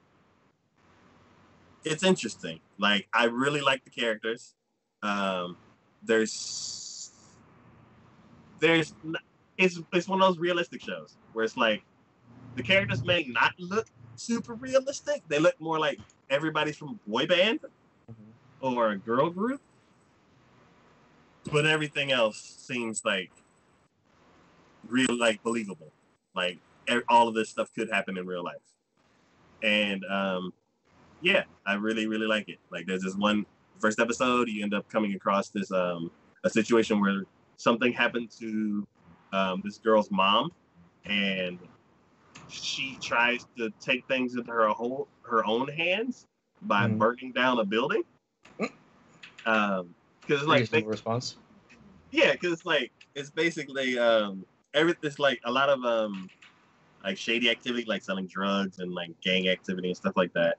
And basically, the people who work in this building did something that caused an accident that caused her mom to go to the hospital. And in retaliation, because she can't because she can't fight against them, she wanted to burn the whole building down because she knew that the building had drugs in it. Um, and when Makoto takes her because no they the people in that building don't know him, he basically wants to go in and like do reconnaissance and like find out information so they can solve the problem. And when he takes her into the building, she sees that there's other people in the building other than the drug dealers. And she was like, he's like, and if you would have burnt this building down, you would have killed all these other people. And he's like, kind of teaching her a lesson Mhm. and that reminds me of like the drama because even though you're dealing with like cop like illegal things like drugs and dealing with the cops and fights and on gangs and all that kind of stuff every episode also had a lesson in it so for Mhm. for them to kind of put that in there too i was like ah it, it just feels like the old show so uh, even though completely different things are happening So Gotcha. I, I really really do like this show um, Gotcha. yeah. So uh, we are halfway through. Did you want to take a break? Yes, let's take a quick break. Yeah. So this is a new thing that we're doing in this show because I feel like we should have done this years ago. But um, so yeah, we'll be uh, taking a what, couple minute break. We'll be back right after four, and uh, yeah, we will see you then.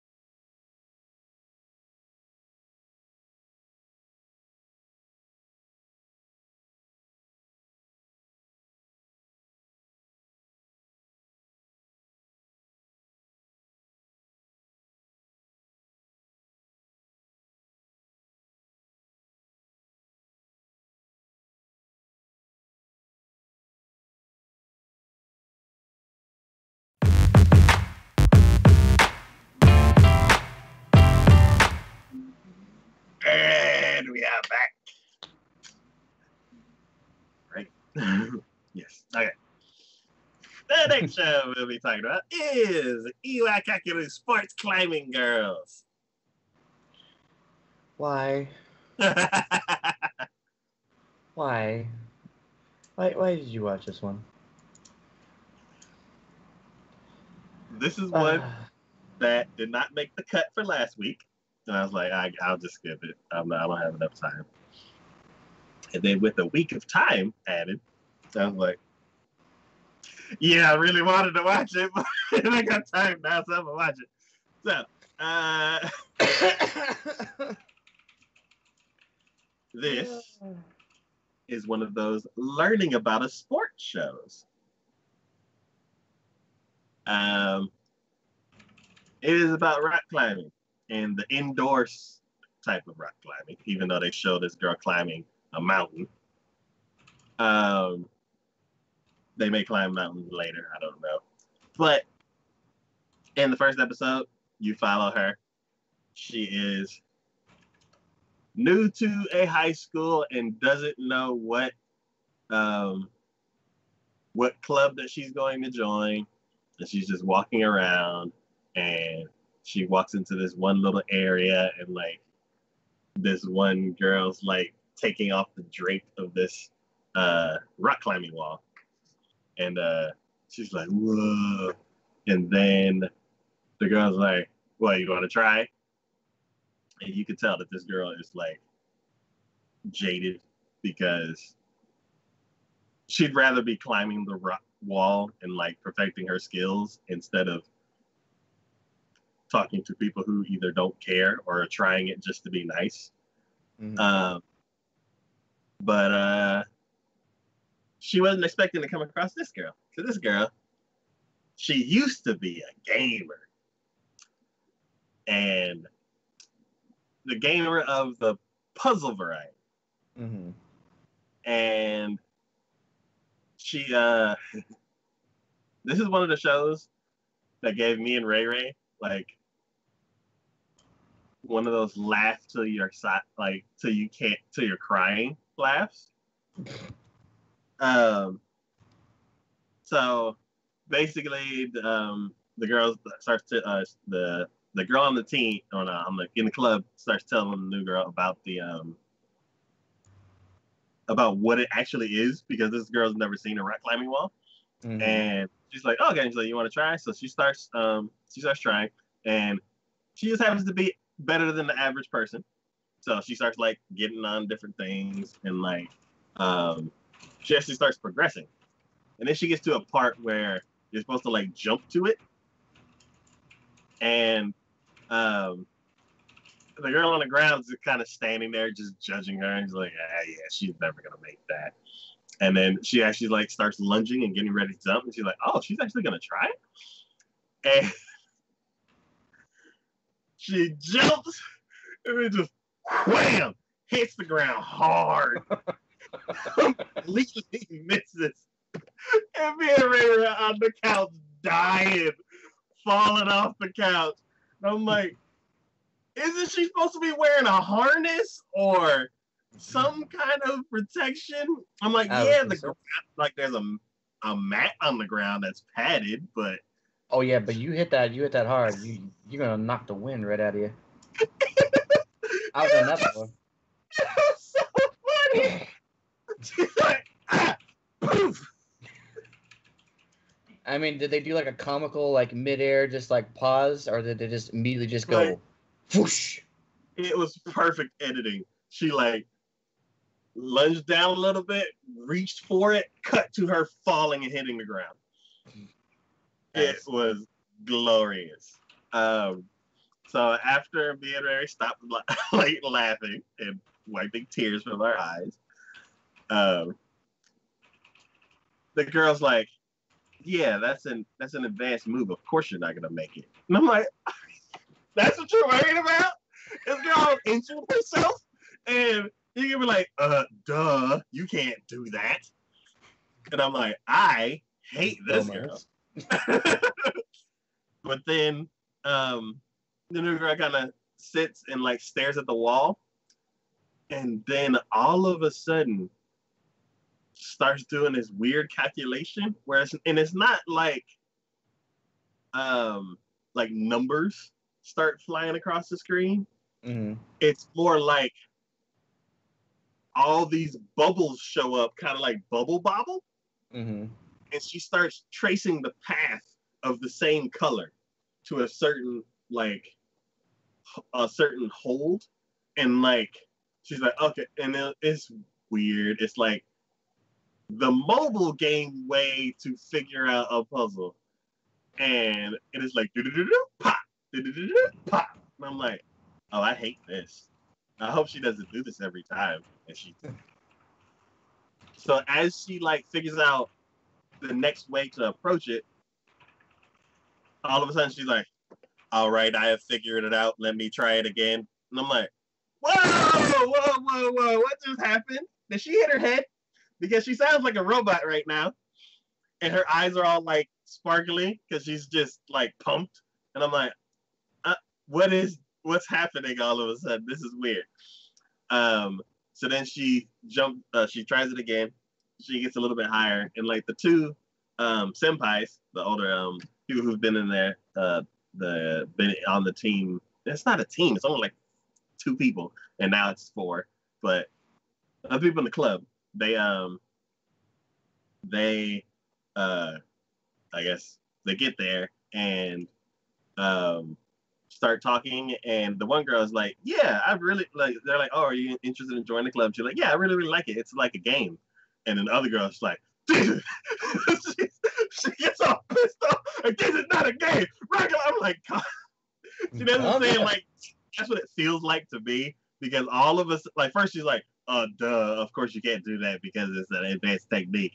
And then she's like rock climbing is not a game. I'm like calm down jesus. I'm like you just joined this club.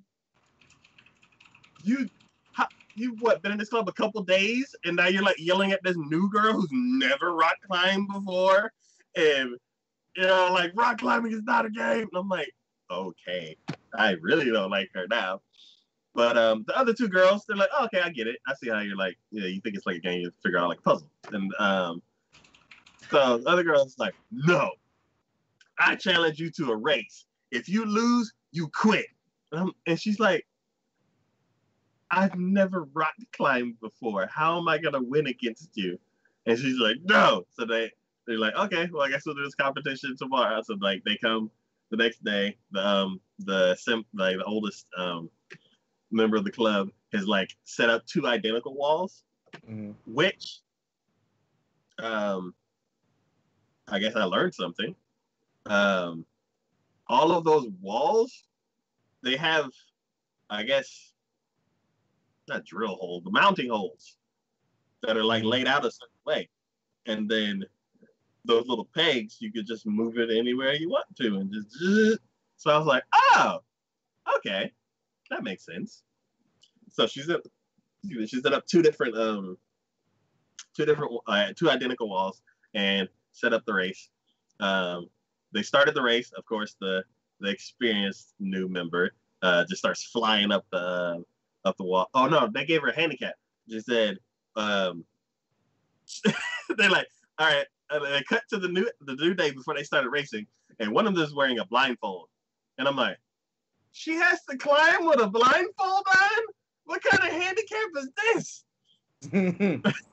What it is is they're giving her a two minute start and the other girl can't look at the wall to plan. Mm-hmm. Like as soon as the two minutes is up, now blindfold off, go. So, um, so I'm like, oh, okay, that makes more sense. Because then she's gonna be like, where is it? oh, I think I got it. Just fall off the wall. So, um, so the other girl's like slowly like making her way up, and um, then the other girl just hops to it and just starts sprinting up the wall. Um, the wall's set up to where it's a fork. Um, the left side has easier holds, but then there's a gap, and then the right side has more awkward holds, but there's no gap. So, being a newbie, the uh, other girl goes for the easier holds because the other girl's gaining on her. And then when she gets to the gap, she's like, I don't know what I'm going to do. But then she has that little puzzle game vision again. And she starts grabbing on the side of the wall. And me, I'm like, hey, that's cheating. It is, you're only supposed to hold the color peg things, right? I was like, you can't. Did I just climb the whole side of the wall? What? I don't get it. And then they're like, oh, she's she's using so and so technique. I'm like, oh, that's allowed.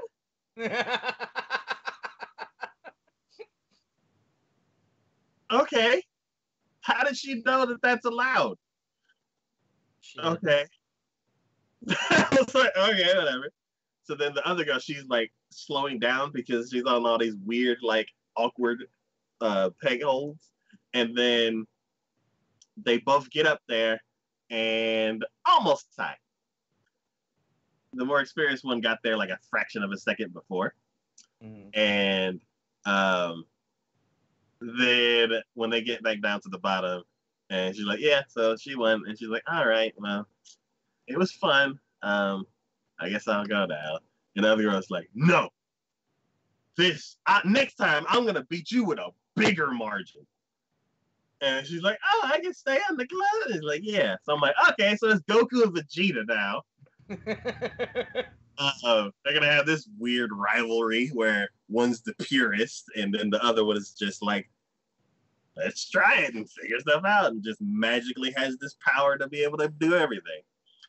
Um, so it's interesting. I learned a few different things about rock climbing, and um, one thing that happened at the beginning of the episode was weird. Um, I didn't remember the picture, so I wasn't sure what the art style was gonna be. But Mhm. then they showed this lady in this like sports outfit, and I'm like, that looks like an Olympic outfit. And she's just built and not like Hulk muscular, but like built to rock climb. So like, um, and like built like a basketball player, where it's like you you're you can maneuver and like you're strong. And she's like on this one part and she can't reach the next one. So she like jumps off and then like sits down and looks at like looks at it like she's gonna approach it a different way and like has her hand in this uh bucket of chalk. And then she's like, all right, and then like gets up and then just like just run, like a basketball player just starts running just ha, ah, ah, ah, ah. and I'm like, whoa! I'm like, is this what this show's gonna be like? I'm like, who made this? Did production IG make this? And then like it cuts to like anime girls. And I'm like, where's the other like actually woman? Like, why didn't they show that other person? Like, like why did they show this realistic person and then the show's gonna be about completely different anime girls? But in her doing that, I'm like, oh, this is like a legit like all the rock climbing that I see is either somebody hanging off of a mountain where it's like a 60 degree upside down and they're just like hanging on by their fingertips in real life that I'm like, I will never do that. Or like at some kind of like parking pizza place where they got a little rock climbing wall. I've never seen like sports climbing Mhm. where they're like, okay, this event is the speed climbing, where like it's easier than like ones that have more difficulty, and the actual holds are set up to where you can grab it quickly and like go. So it's like running up a wall like Spider-Man kind of event. So I'm like, okay, so I've learned a few different things about rock climbing. And if I were to finish the show, I feel like I would learn a lot more. But I've had my fun with this show. So you're not fun. gonna continue it? Oh. So now, if it was a bunch of girls, like if it was a bunch of like female athletes, like that first one that I saw, and it was like an animated version of a actual event at the some kind of Olympics or something like that, then I would be way more into watching it because I, I feel like I'd be watching uh, Kuroko's basketball, but climbing walls instead. So um, it's very interesting. Like, man, if I had more time, I would definitely. I'm glad that I like had an extra week to like sneak in a couple shows because this is this is the whole reason why I like sports anime. It's like if it's a sport that I know barely anything about, I learn stuff. Um,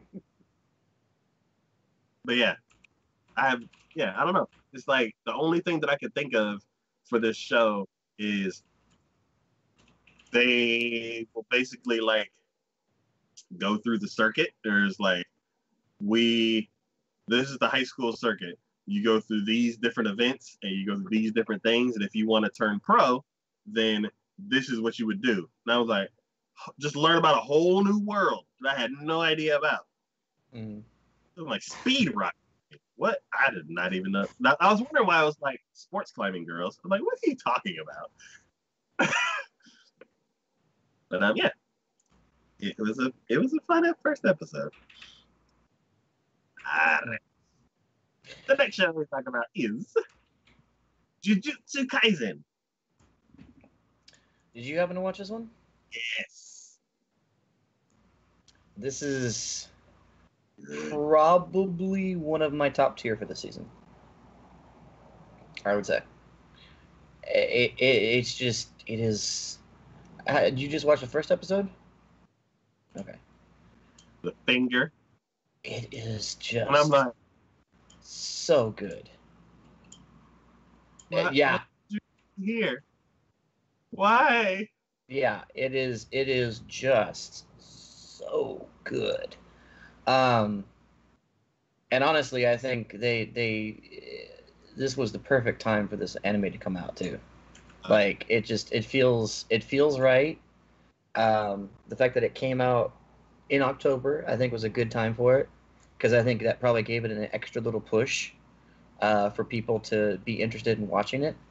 And oh, guys, just the characters in it. Um, the main character is is pretty bland. I will say he's not what I would say is.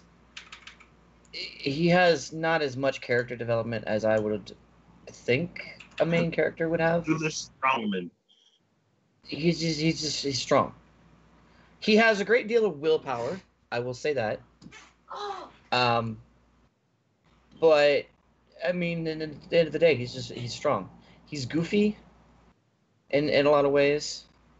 Um, Goofy But, kind uh, of like empty-headed kind of way too. yeah, yeah, yeah. I would say the other two characters that are with him, um, which are I'm Uh, mad at them. why? So they're in the occult club. Uh huh. How do you not know about curses in a occult club? because it's just for a fun thing.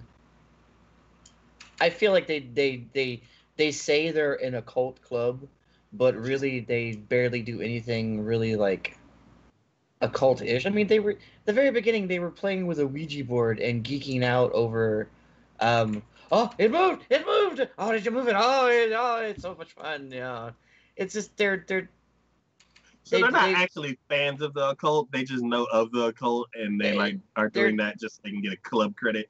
they were probably more like to me it felt like they were more like um like a movie occult like your stereotypical occult Okay. like curses seemed very much like you probably like everyone knows like anyone knows of the actual term curse but what it actually entails what this show has evolved it into i think is way more than um, what you would normally look into it as. So basically, like if they were actual true fans of the occult as far as like curses and stuff like that goes, they would either be in charge of a temple, kind of like in the picture, or they would be like like that other guy, like it would be in the family kind of thing. Yeah, I would imagine. Okay. I would look at that. To me, they're more just like movie fans and just geeking out and just having fun, doing whatever kind of thing. Okay. You know, they're they're the ones who stand in front of a in the mirror in the bathroom and say Bloody Mary three times, and and then freak out because someone starts flicking the lights on and off or something like that. You you know what I mean? That's that is the extent of the quote unquote occult that it, that they're they're with is what I feel like. okay, because I'm used to like an occult club actually being competent.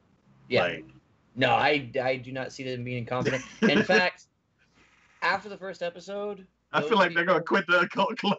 Well, no, no, like after the first after the first episode, well, I think there's a little bit in the second episode with them, but that's it. We don't see them anymore. okay. We're, No, we're I'm trying to think like if if something like that happened in real life, somebody's like, "Oh, we're in the occult club, and we found something spooky, and then something actually like terrible happened." I feel like they would just quit the occult club like the next. Ba- basically, I g- you know I'm surprised if if they did that in this. I would not be surprised. I would not. Um.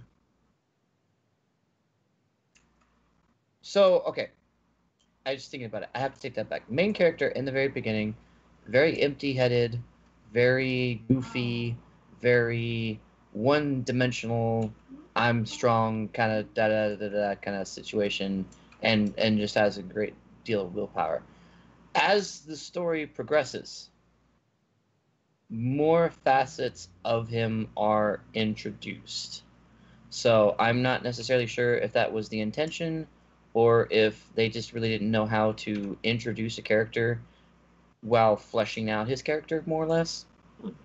Um, or if that's just because of the way the anime just portrayed it and the manga actually went more into it. I don't know. Um, I will say that, yeah, there are some moments with him uh, in in future episodes that definitely make me think that he is um, he has more to him. He has more to him. He's definitely he goes into this very much like, oh, I'm now you know a curse essentially, and you know I got to take care of this, but you know, hey, let's have some fun while doing it, and then at certain point, the realization and the weight of what is his now his quote unquote task and responsibility hits home. And you kind of start to feel for him a bit. Because you're like, dude, you are in way over your head. Um, and and you cannot take the fact of the um, what's his name the the curse that resides into him. I can't remember what they what his name was or whatever. Um, you but you cannot take the fact that he has this curse as like a trump card. And, and this was very interesting to me because at It's one not like point Naruto and the Kyuubi. No, no, because you can't. You can't. Because in situations like that, I'm also thinking. I'm like, well, what's the, what is the incentive of the other half? What's the incentive of the person that he has inside of him, who he's essentially suppressing for his own personality, not just you know actually helping out instead of doing whatever. You know what I mean? And that kind of come come coalesce because they get put into a situation where he could very well die. Like it was very bad in a lot of ways. And he when seeing when faced with the situation and realizing what he was up against, he contacts that spirit inside, of him and says, "Hey, are you going to protect this body?" And he goes, "I really don't care. I have other pieces of me floating around here. So if this this portion gets destroyed, I don't care." And he's like, and if you let me loose right now, I won't kill what's trying to kill you. I'll go after your friends.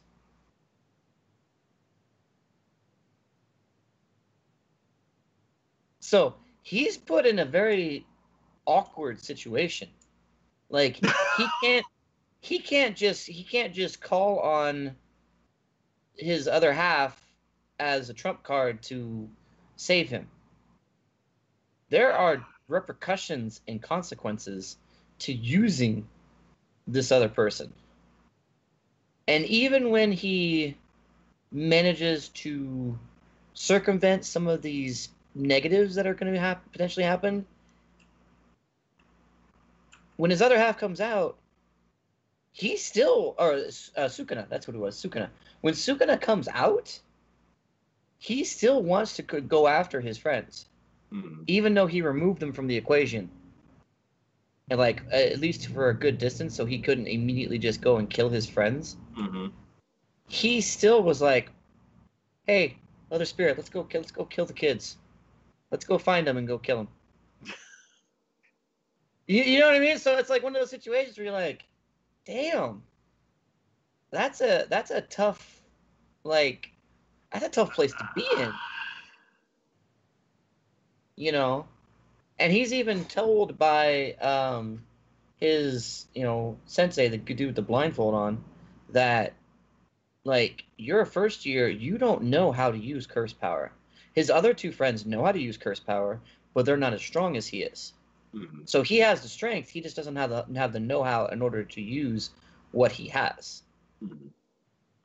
So he's really going into it just with sheer, just again from the very beginning, just sheer willpower, sheer will force, is what it is.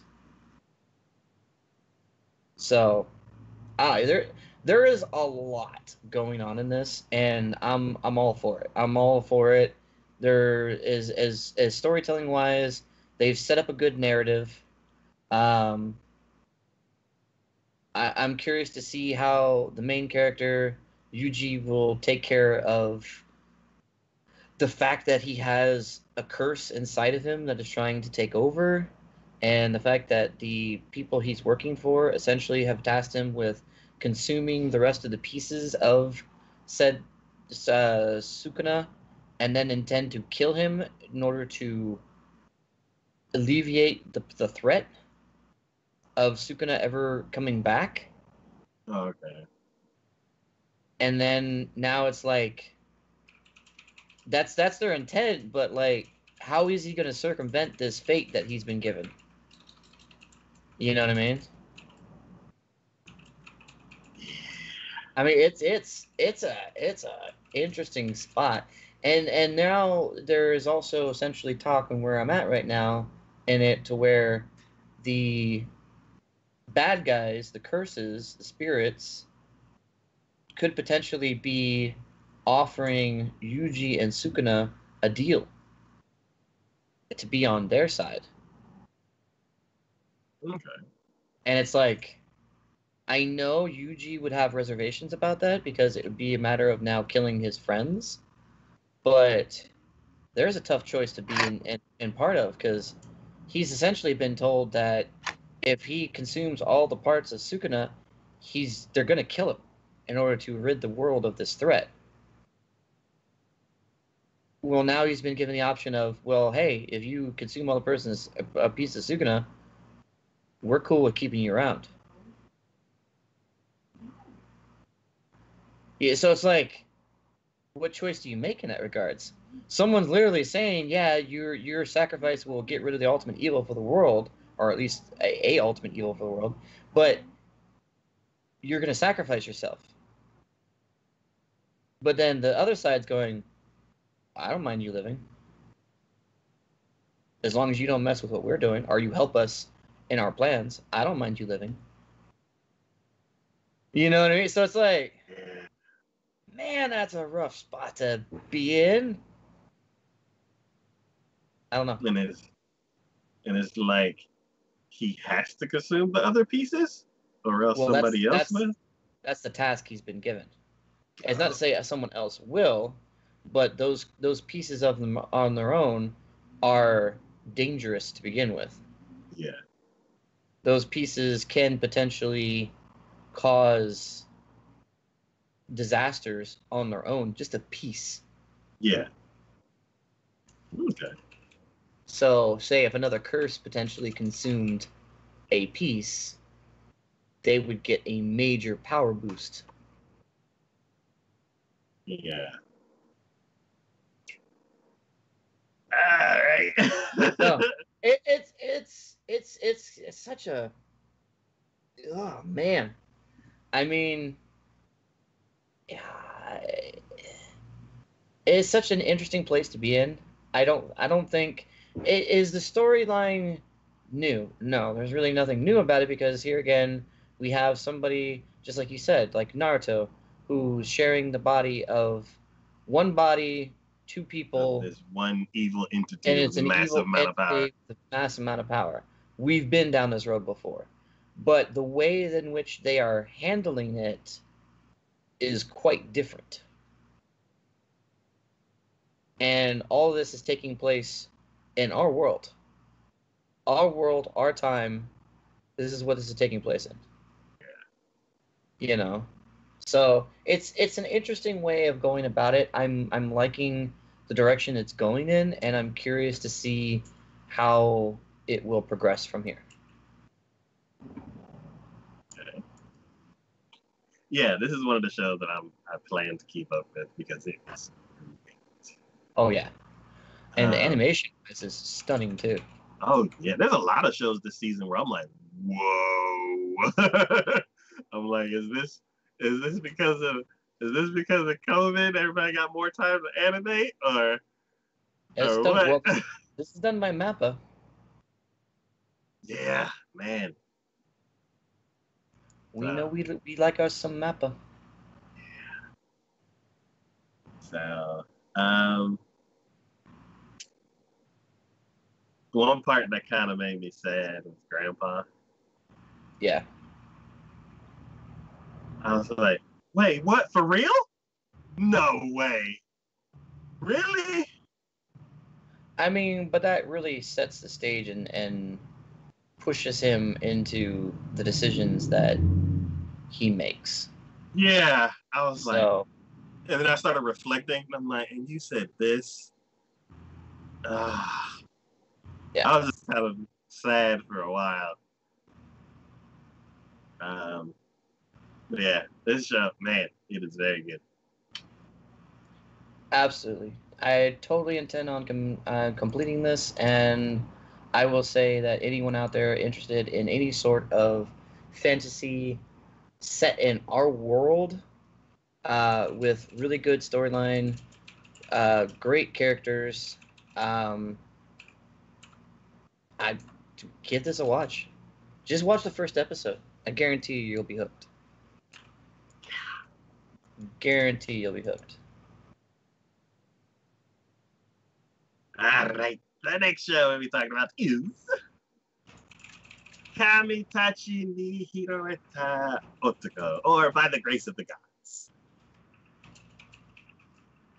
Yes. Okay, so this one, this one I feel like gets gets a bad rap because I've I've seen the comments in Funimation on this. Um.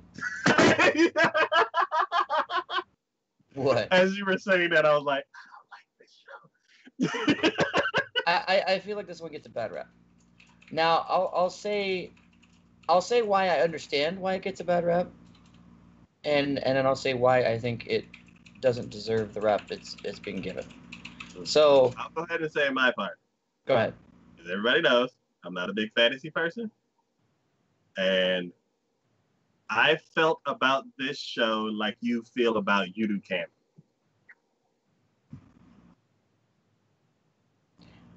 I'll say I, I and I get that. I do.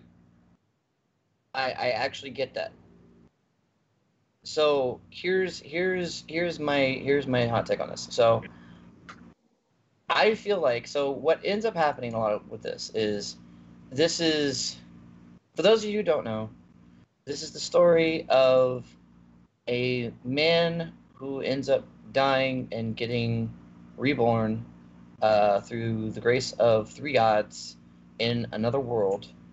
Um, and he is given a lot of blessings. So he's incredibly strong, fast, he has a great deal of magic ability, and um, one of the very first things he comes across is a slime in which he tames and then essentially entailing the first episode he lives out his first you know three years three years in this world in a forest by himself. So, not a whole lot going on. And as as things progress and and we see how things move, there's if, you're expecting when you look at fantasy, people look at fantasy and they have certain expectations. You're like, okay, there's going to be magic abound. There's going to be, you know, fantasy characters. We're going to come across elves. We're going to come across beast people. We're going to come across, you know, all this other stuff, uh, monsters, and there's going to be fight sequences and da da da da da da da da da da. I get that because 95% of fantasy anime, that's what this entails. Now, so when those people go in with this expectation of this, I can see why you look at this and you're like, this sucks. Because there's not a whole lot that goes on. Even with the first four episodes, not a whole lot of goes on. But that's not what the show is about. And they don't necessarily come out and say it. And and part of it is I, I also read comments where people were saying there are certain parts that they are skipping over in the anime that the the light novel or manga touched on and and and they're kind of glossing over a few little bits and pieces what this story is about is the life that this man led and the reason why the gods chose to bless him and reincarnate him in another world. Because as the story progresses, you realize he had a very sad life, very bad life. Um, so most of this, what it comes down to, is characterization, characterization and character development. Um, and and I'll give you an example of of one of the things that happened. So he eventually ends up coming, and I, am going to say stuff because I'm pretty sure you're just the way you said you're not going to continue watching anyways. But he eventually gets comes goes with the people that you see, the the ones that came to him originally, okay. and yeah, he ends up going with them to the town. They wanted to bring him to town. They wanted to kind of help him. They wanted to take care of him because they saw him out there alone by himself. Didn't know much about him, but they figured it's like an 11 year old boy essentially on his own. You, you know, they, that, that seemed like a bad situation. They didn't know everything that he can do or all the stuff that's happening, but um, he ends up taking a job because he, he he gets put into a guild because they see that he has abilities and in order to in order for him not to get taken advantage of they're like you know what put yourself in a guild rank up and then you'll put yourself in a higher station to where people will not feel like they can take advantage of you you'll have a repu- you'll have a reputation you'll have things ahead of you and and you can you you'll manage kind of thing I had a question about his um, abilities and powers. So, um, when he had his hand on the uh, orb, they could read his powers, and they didn't really seem like anything. But then, so, oh, I don't but think, then I don't think because of either a he was hiding it or b he was only giving them certain like I don't think it could read the information based upon what he is because his powers come from the gods. Yeah. They're not your oh. average, they're not your standard like everyday. Like what he can do, there are certain people who can do that, but to the extent and the power that he has and the ability for him to do that with is not normal. Okay, because they read his powers and I'm like, oh, he's a little weak guy. Okay, I can see why they're trying to protect him. And then they went into like the flashback of how he actually got there, and then he kicked the tree in half. And I'm like, wait a minute, yeah, that yeah. ain't that strength level doesn't match. No, no. But yeah, that makes sense. So, anyways, he takes a job um, because he has these slimes, and they each have their own abilities in doing things. He takes a job uh, cleaning out, um, essentially this town's latrine system, essentially their sewer system, essentially. Um, and he ends up finding there's multiple stations that he has to go through, but he ends up finding that one that uh, from the first one that he goes and cleans that there is a miasma over the entire like someone essentially put like a very bad poison inside of this. And and and and, it's really not a good situation. Well he has certain ways and certain abilities that makes it to where it's not he can't nullify it essentially but he has some resistances to it. And he said basically he told the the guild leader he said look i'm the best person for the job. I can take care of this because at first they're like no we're going to send people in there. And they're like no the only thing you're doing sending people in there is causing essentially more victims. Don't send more people in there. Let me take care of this. Just basically hold people off. Don't let anyone approach is the best thing you can do until i give you the all clear um, he even he even knows the meeting what he's having with the people that's around him too that you have in the picture the ones that he met originally. He told them the same thing. He said look you know because they're the ones in charge of the town. He said look i'll take care of this. Just keep everyone away.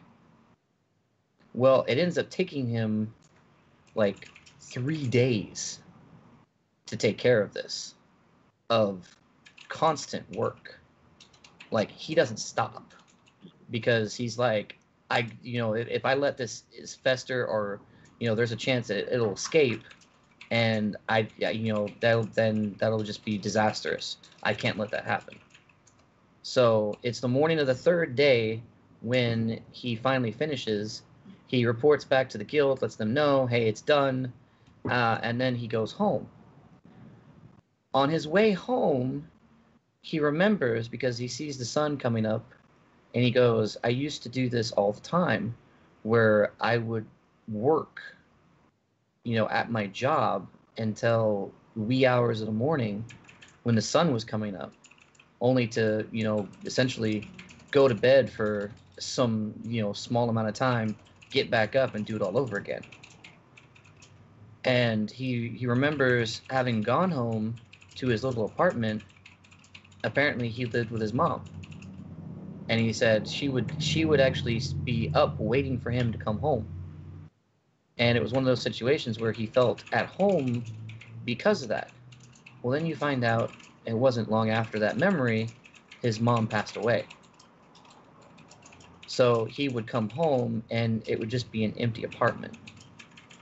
No one there to greet him no one there to say hi no one there the light on waiting for him or whatever. And you know it he said it even when she died, he he couldn't even muster you know the tears, you know he, he to to to cry because he just he felt empty, he felt just you know gone in that regards.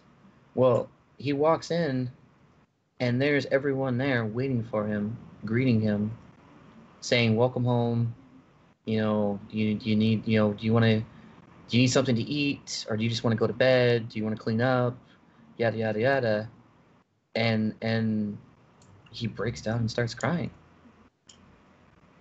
Because it was just one of those situations where he just it reminded him of something that he lost that he thought he no longer had or could have because that part of his life was gone. And now here it was someone was once again showing compassion towards him and caring about him and and he felt at home. And I'm like, look, no matter what you may think, no matter what you may say, that's character development. It's character growth. And that's what, if anything else, this story is about. Like everything else going on in the background, his tasks, his jobs, what he's doing, that's all background noise almost, essentially. That's just a way for us to continue the story a means to an end almost kind of thing. His interactions with people, because he even said he spent three years by himself and didn't have any intention on leaving that forest only because he didn't want to be around people anymore. And I think a lot of people maybe can relate to that. You just don't want to be around people sometimes. You just have that feeling where you're just like, I'm done. I don't want to deal with society. I don't want to deal with people. You know, I've been beat up. I've been, you know, torn and, and shredded, and I'm just done. And given the opportunity, I'm sure there are plenty of people who, if they could actually manage it, would go live in a forest for however many years just to get away from people or whatever. And it took this family having found him, or him having found them, however you look at it, to him to come back to civilization and to start seeing that he didn't necessarily like his his trials and tribulations he went through in our world as bad as they may have been weren't like it, they're still he could still make things better for himself.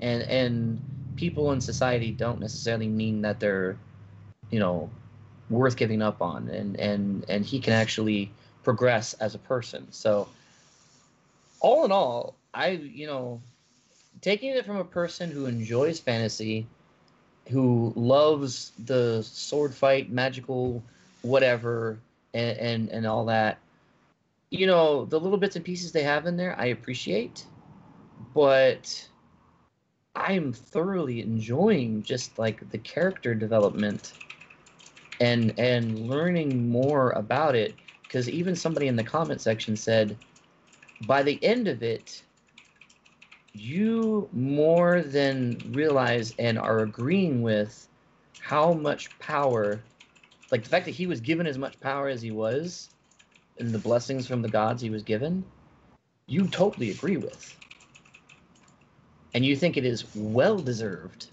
from his character by the fact that he was given these things so, yeah, I'm, I'm, I'm a fan. I'm all for it. I, I, I appreciate, you know, the little nuances that he has. The fact that there are certain times that they flash back to his old life, and he's sitting there getting yelled at by his boss for something and whatnot, and then when he gets complimented by somebody here for the work he's done or for helping them out and he has that little like faint little blush that he has on him or whatever and you're like and, and, he even sometimes you know internally monologue voices it going you know to be appreciated by somebody. And you realize you know there are so many people out there who probably are in the exact same situation who have no zero appreciation and who only who only get continually ragged on by everyone for you know the job that they do because they feel like they could have done better or they didn't do as good as they should have kind of thing. And and here he is just doing, you know, whatever he can and people are absolutely ecstatic with him and are complimenting him and encouraging him. And I'm like, God, can we take like a life lesson from this for, for, you know for people or whatever? Can people like take a moment and not focus so much on like the violence and and and oh we got to go defeat a demon king or whatever and realize this is just human raw human emotions this is like ideally what people in our world should strive to be just encouraging one another, helping one another, being uh, uh, happy for one another, appraising for one another. Don't pull people down, bring them up, you know? And and I, I feel like this kind of embodies that so well. And and just really drives things home as far as character development goes and and if anyone ever wants to have more of that in either their their story their writing their whatever it is that you're doing take a hint from this watch this and just feel like that is that is something you should, that you should strive for in this so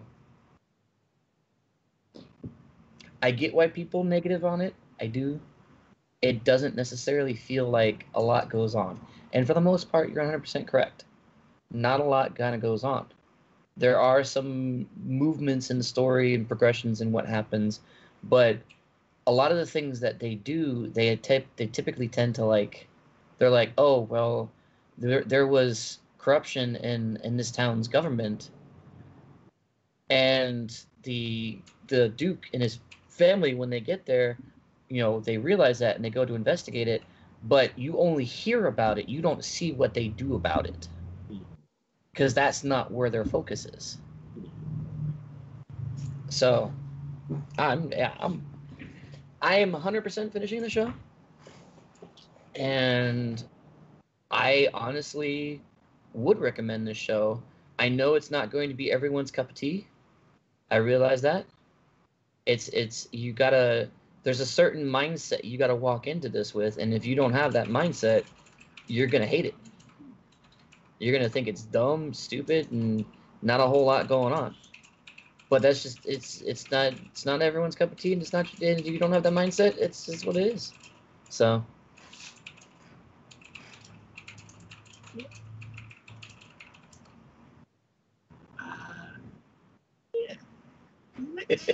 I don't know what to say. That's completely understandable. Uh, the next show we're talking about is King's Raid. Oh, actually, before, I, I just thought of something. So,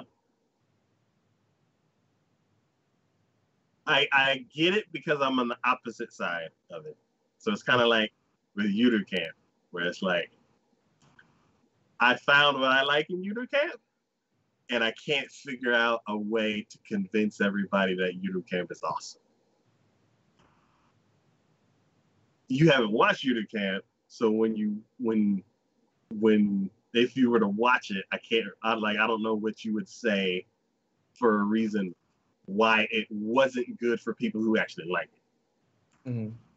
So I'm kind of in that opposite situation where it's like I can see that the character development um, would be a huge draw for it. And I do like how in this show they um it's a different like different aspects of like brought to another world where it's like most of the time people are just living an either okay life or maybe they have a few problems or maybe a lot of problems and then when they go to the other world everything's great and they're surrounded by friends and all this all this crazy events and all that kind of stuff and this show is more like he has a miserable previous life. And because of that, when he gets moved into the other world, he's gifted with a bunch of different things, but he doesn't bestow it on other people because he's like, I, I don't want to be around people. Mm-hmm. And most of that, I don't know. So what I got from this show was he's in a better situation. And I've been in that point where it's like, overtime, seven days, just work, work, work, work, work, and mm-hmm. it's like no and, and you, no friends, no other thing outside of just work. And you never get any appreciation for that. Yeah, you put yourself to the to the test on that, and you never. It's it's like they should thank you afterwards and be like, oh, thank you so much for helping us push that way through and and getting us to that point. Da da da da da. But that's never the case. No, all you get is a get it done, and then yeah. that's and then the next get it done. So yep. it's like it. Yeah, it's like whenever I saw his like previous life, it kind of brought back jobs that I just hated, mm-hmm. and but then because I haven't seen a lot of this show, I'm like, okay, previous life is not so cool. Moving on to another life where, for me, I'm like, it's like previous job to a job that I would love or hobbies. Or his path is life, previous life is not so great to, I guess his hobby is like learning about the slimes and all that kind of stuff. So it's like he's doing something that entertains him, but it's not what entertains me. So I'm mm. like, you do you. I'm gonna go watch something else. so no, that's um, understandable. Yeah. So that, that, that's that's completely understandable, and and I mean it's it's you you begin to realize it's more than just the slimes. His slimes was a big portion of it, but like he talks about the fact that he's dabbled in different magics because he realized he had the ability to use all kinds of magics. So like he dabbled in alchemy, he dabbled in um, a couple other different things that even when he told the Duke that they're like, wow, really? That's a real rare thing to find from somebody to be able to do something in regards to that. You know, it's a very niche kind of thing, and um, you know his willingness, his willingness to help, is I think you know one of those big, like you you think you look to see how bad his life was previously, and he has here's a person who is given every reason not to do anything. Like you're like, all right, you know what? He's just like, I, I wouldn't blame him if he's just like, you know what? I'm done with. I'm not gonna do anything. I don't care. You know, or he could have just been like, oh, they found me in the forest. You know what? I'm gonna move. I'm gonna separate and just be like, all right, I'm I'm gonna take my myself and leave. Yada yada yada, whatever.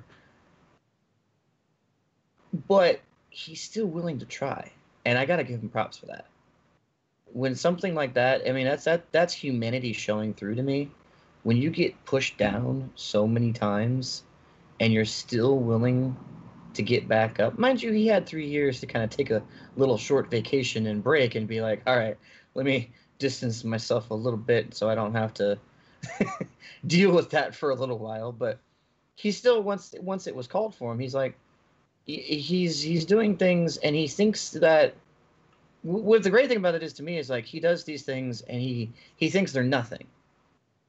Because to him it's just like well anyone in this situation would do the same thing. Mhm. You know and yet everyone's like oh my god this is amazing thank you so much for for doing this which then because then that's that's the mentality because you you do these things because you think you're expected to do them and you don't ever get anything back from it as far as just any sort of like kindness or words of agreement or whatever. And then when you all of a sudden get that and get shown that, I mean, it's almost like it's, foreign. You know, and that that really just makes you shit so how sad his life was in that regards. And I'm assuming as the story progresses, we're gonna get even more details about how his life was and how sad it was. Because I mean, here's the thing: they talked about his mom. What about his dad?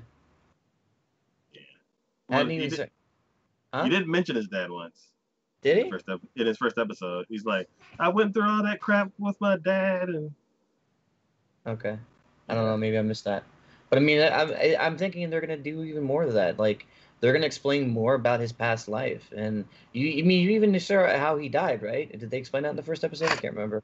yeah, that's that was part of it. He was like, Yeah, yeah. Um, they're like he sneezed in his sleep and then like fell and knocked his head open. And Yeah. he's like, and he got like super pissed, and he's like, "I went through all that crap in my life, and my dad was abusive and blah blah blah, and I just fall asleep on a sneeze." And part of me's like, "Dang, that's a bad way to go." But God, yeah, I feel you. Like going through all that and then just poof. See, I mean, yeah, I mean, so I mean, there's so much of this. I feel like is just you're learning about the character, and and you see what he's had to go through, and then to see how he is in his life, personality wise, and that he still continues to try when so many people would just give up, is is a huge testament. I think. yeah, I'm uh, I'm I'm curious to see like how how this story um develops and like because I feel like he has so far he hasn't used like all of his powers and I'm like did the did the, No.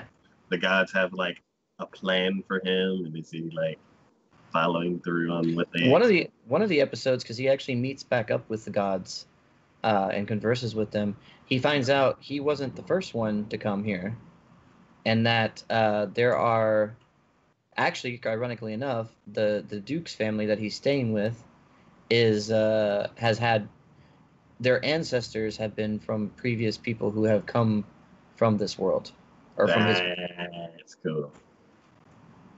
And and they've been given different blessings in sort of way. And it was it's funny because uh the girl that he tries to help uh that he helps out more or less and kind of they they it can be can misconstrued, but he more or less thinks of her as a sister. Um, is one you see in the in the picture there. Mhm. Um, she has immense magical power, Mhm. but he remembered the fact that one of her ancestors that came into this plane had actually been gifted immense magical power, and because he he viewed himself as one of the uh, Chunin dark sorcerer magician kind of situations Okay. you know he was he was given the option and he he lived out his fantasy of being the you know what is it, that one that one anime where they had the character who had the the eye patch or whatever and oh don't make me feel my eye or you know what i'm talking about Oh, like, like, like, like acting like something's more than it is. Like, should- like it, yeah is it Cunin or Chunin or something like that Is that what it- yeah yeah yeah yeah yeah, yeah, yeah, Yeah, yeah. yeah. So he had that mentality, but he was he had been gifted with immense magical power, and then he ends up finding out that she actually has almost as much. Ma- he actually she actually has more magical power than he does. Uh-huh. Okay. You know, and it was like, and then he thought he was like, wow, and then he remembered himself. He's like, oh, that's because of her ancestor was yada yada yada. Okay. And and then going into the Adventurers Guild, he ends up finding out that one of the, his tests in order to pass into the Adventurers Guild was to essentially clay skeet shooting, except it was done differently a little bit. And it was because the guild master said, "Oh, one of our previous ones who set this up actually had a weapon he called a shotgun." And they're like, he's like, "Wow, so the gods actually allowed him to bring over something from the other world and, and allowed him." I'm like, he's like, "All right, well, I guess we're gonna do what we gotta do then." But I mean, it's it's interesting to see. It's like, okay, so there are other people who have come from his world or what whatnot Okay. you know, and and whatnot. He's not the first to do this, but I, it's it's just interesting to see. It's and you wouldn't you wouldn't think there would be a whole lot to do with slimes either, but there's actually quite a bit, at least as far as what they've done. So This is the first show where I've seen a floating turd inside of a slime.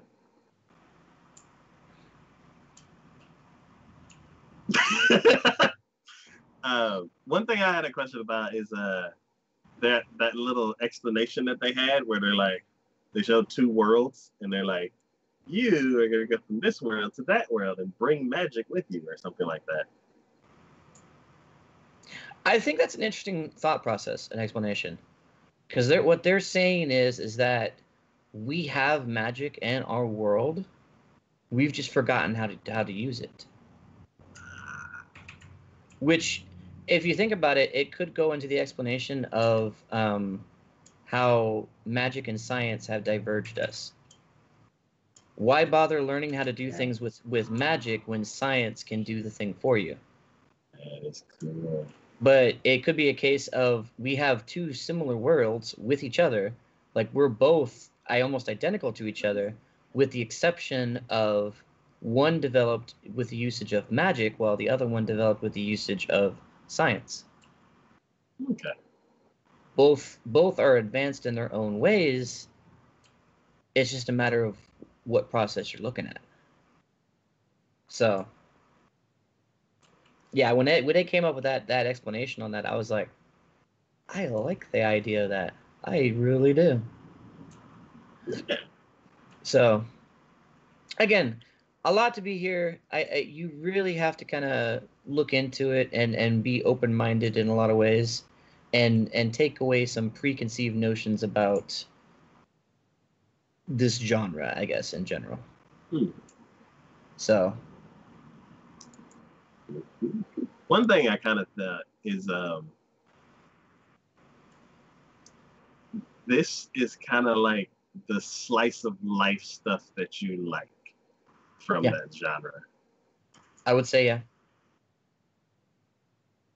This this to me is in the same same ish realm as say like um natsume in a way because there's really not a whole lot going on we have our certain things that do happen but it's it's really just kind of like a day to day life kind of thing.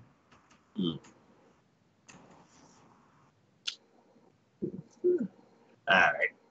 The next show we're talking about is King's Raid. I did not get to this one. Yeah, King's Raid. So I watched first episode of of this, and um, not gonna watch anymore. not not not gonna watch anymore. This this this might be a rare instance of me dropping a fantasy just pretty much right off the bat. That kind of wish I watched it. Um. So here's here's here's a problem I have, and I and I think I can see where this stems from. This anime is based upon a video game. okay. Um. Not to say that necessarily bad, but here's what's happening a lot with with and so this would essentially be an RP. I'm not even sure it was an RPG video game, but essentially, I guess you could say it's an RPG video game. Um, a lot of times, their focus is more upon the playability aspect of it than it is storyline. Yeah. And that shows here.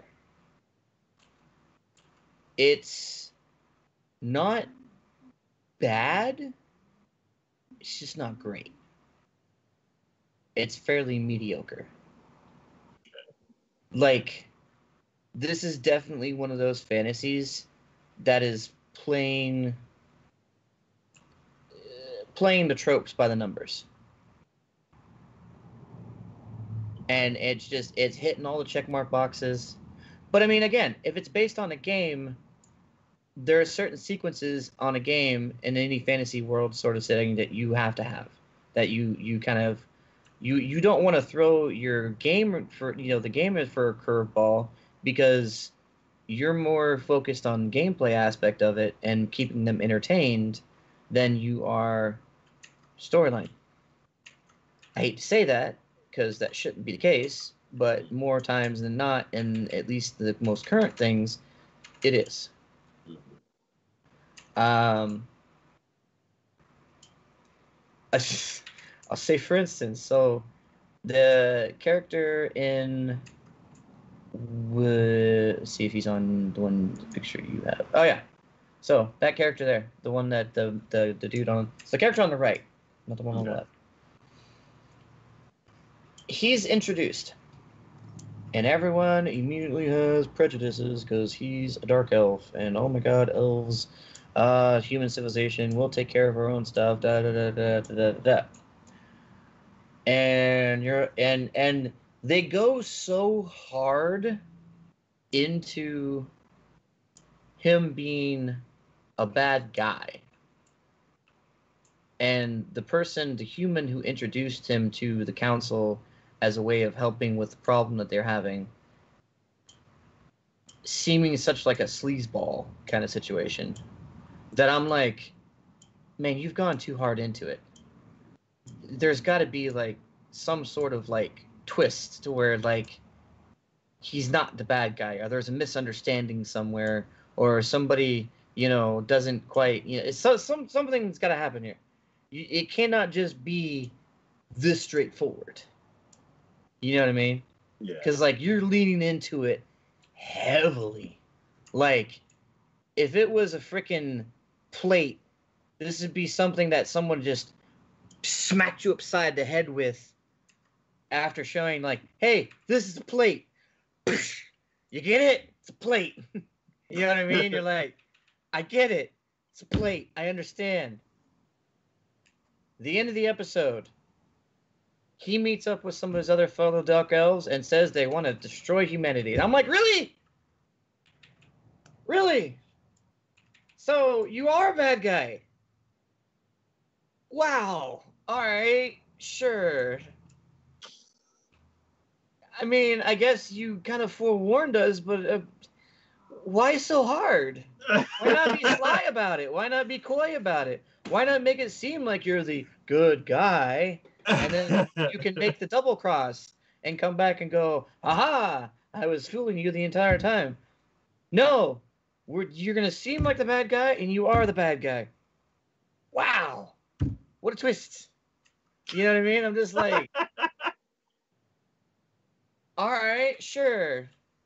You know, and then like they get they get reportings early on about demons in the woods and this guy's mentor is like haha never fear i'll handle it swiftly and justly and we're going you know it, it, i you know you can't even beat me you you know you can't come out here with us but we'll we'll handle this no problem no sweat don't worry about it da, da, da, da, da. and i'm like so somebody just raised a death flag. I'm like, if we're going to if we're going trophy by the numbers here, you just gave a whole bunch of reasons why you're not going to die. Oh no! um, you, just gave a whole bunch. Of, I know. so you just gave a whole bunch of reasons why you're not going to die. So you're gonna die. And sure enough, he died. Like, wow, didn't see that one coming. like, could you? Is all right. You know what? You do you, man. You do you. I'm like, I, I. This is already giving me a headache. Uh, you know what? I'm, I'm done. I'm done. I'm, I'm done. So it's like more than predictable. Oh God, it's like I could give this to like, Like what? Is there a specific term for that? I don't even know. I feel like a, like a, a ten year old wrote the storyline on this. I really do. And then they fight, and then this person dies, and then they fight some more, and then this is the bad guy, and then and, and And his name is Mr. Bad Guy. this Mr. Bad Guy, and I'm like,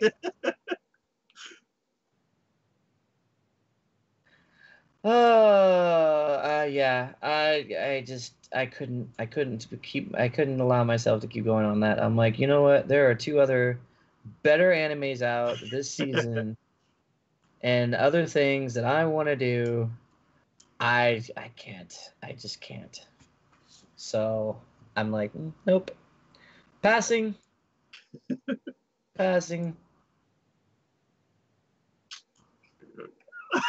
I can't. I kind of want to see it. I kind of want to see it.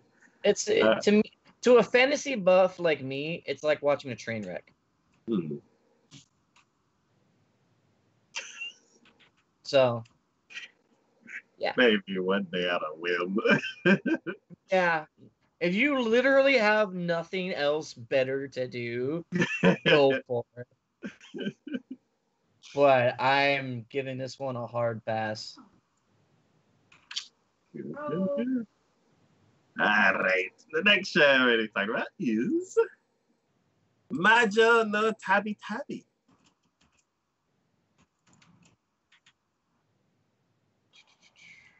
Ah, did you watch this one? Yes.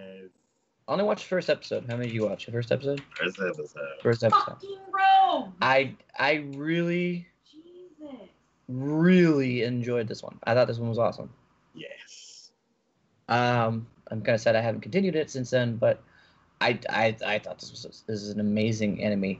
Um, from the detail of of the uh, the animation, which is done by C2C, which I don't recognize. Yeah. I don't recognize them either. Th- Like this is one of the shows that's like So this is a fairly new anime or anime company from this, because they really don't have a lot under their belt. yeah, this season there's been a lot of um a lot of like the animation's been cranked up. It has, it really has, and So- I am I am all about that. I am I am all about that. I am loving the fact that people are. I mean, I guess like you said, maybe it's because they have the time frame because of COVID or something. I don't know, But I'm loving the fact that that's even happening because it is just an absolute. You know, I will say this: when it comes to magic, you gotta have it look good. You know, I don't care what it is that you're doing. You know, things in um, Magus's Bride Oh, that's what it reminds Dude. me of. did so well because of how good it looked. It made fantasy and magic look commonplace. You know, where it wasn't out of out of step. I will say something like um because there's another one that came out too. I want to say is playing on uh Crunchyroll Mhm. right now. Let me let me double check. Um, because I almost confused the two. Burn the Witch. Yes! Did you watch that one? I started because I thought Burn the Witch was the other one, and then I started watching it, and I got halfway through the episode. I'm like, no, I can't. I meant to put it on the list. Well, maybe we'll do a double header on this one then. So I would say between the two, I'm more of a fan of, of Majo no Tabitabi. So I- you I- said the animation, I was like, there was another one that was animated really good. It it did, but the way they did it still made it look out of place. Mhm. In Majo, it looked just in place. Yeah. Like it was an everyday thing. I I could be I you know it, it to me, it's it's like walking into the Weasley's place for Harry Potter. Mhm. Everything in there looked like it should have been there. Even dishes that were doing themselves and you know things that were sweeping or cleaning that were moving on their own. I'm like, I totally believe that. I totally get and totally buy that. You know, it doesn't look out of ordinary to me. I, I'd swear this would that would be here. Burn the witch, like a dude's flying with his whatever little dog creature mm-hmm. thing, and I'm like, and everyone's just like, oh hey, look, he's flying. I'm like, you're not freaking out about the dude up there who's flying. And then the other witches come in and go, "Hey, we saved you, but you know it's only because we got paid to do so." And I'm like,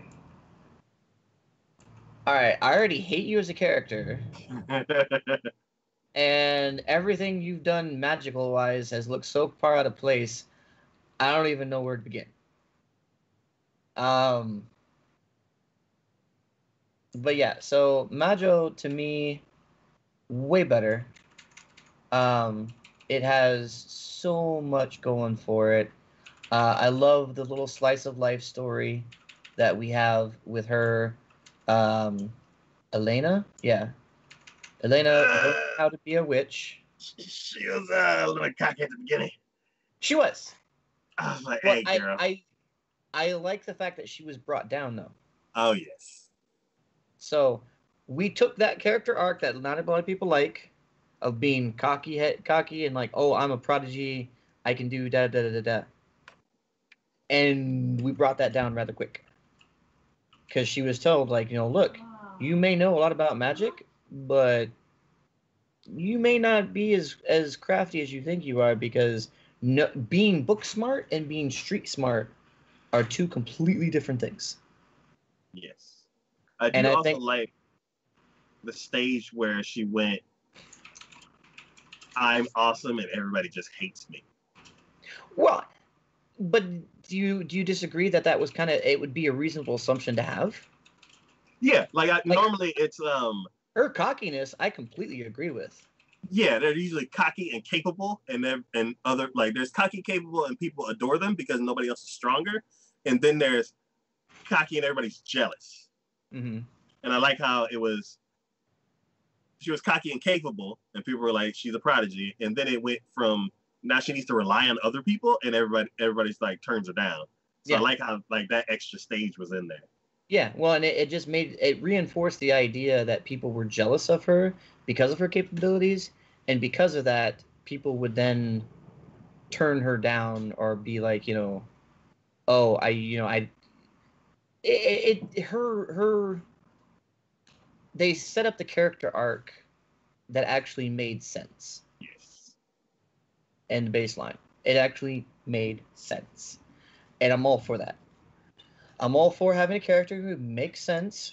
And I'm all for the idea that she is going to be taking this journey and exploring just being a witch. Like, I'm I'm okay with that.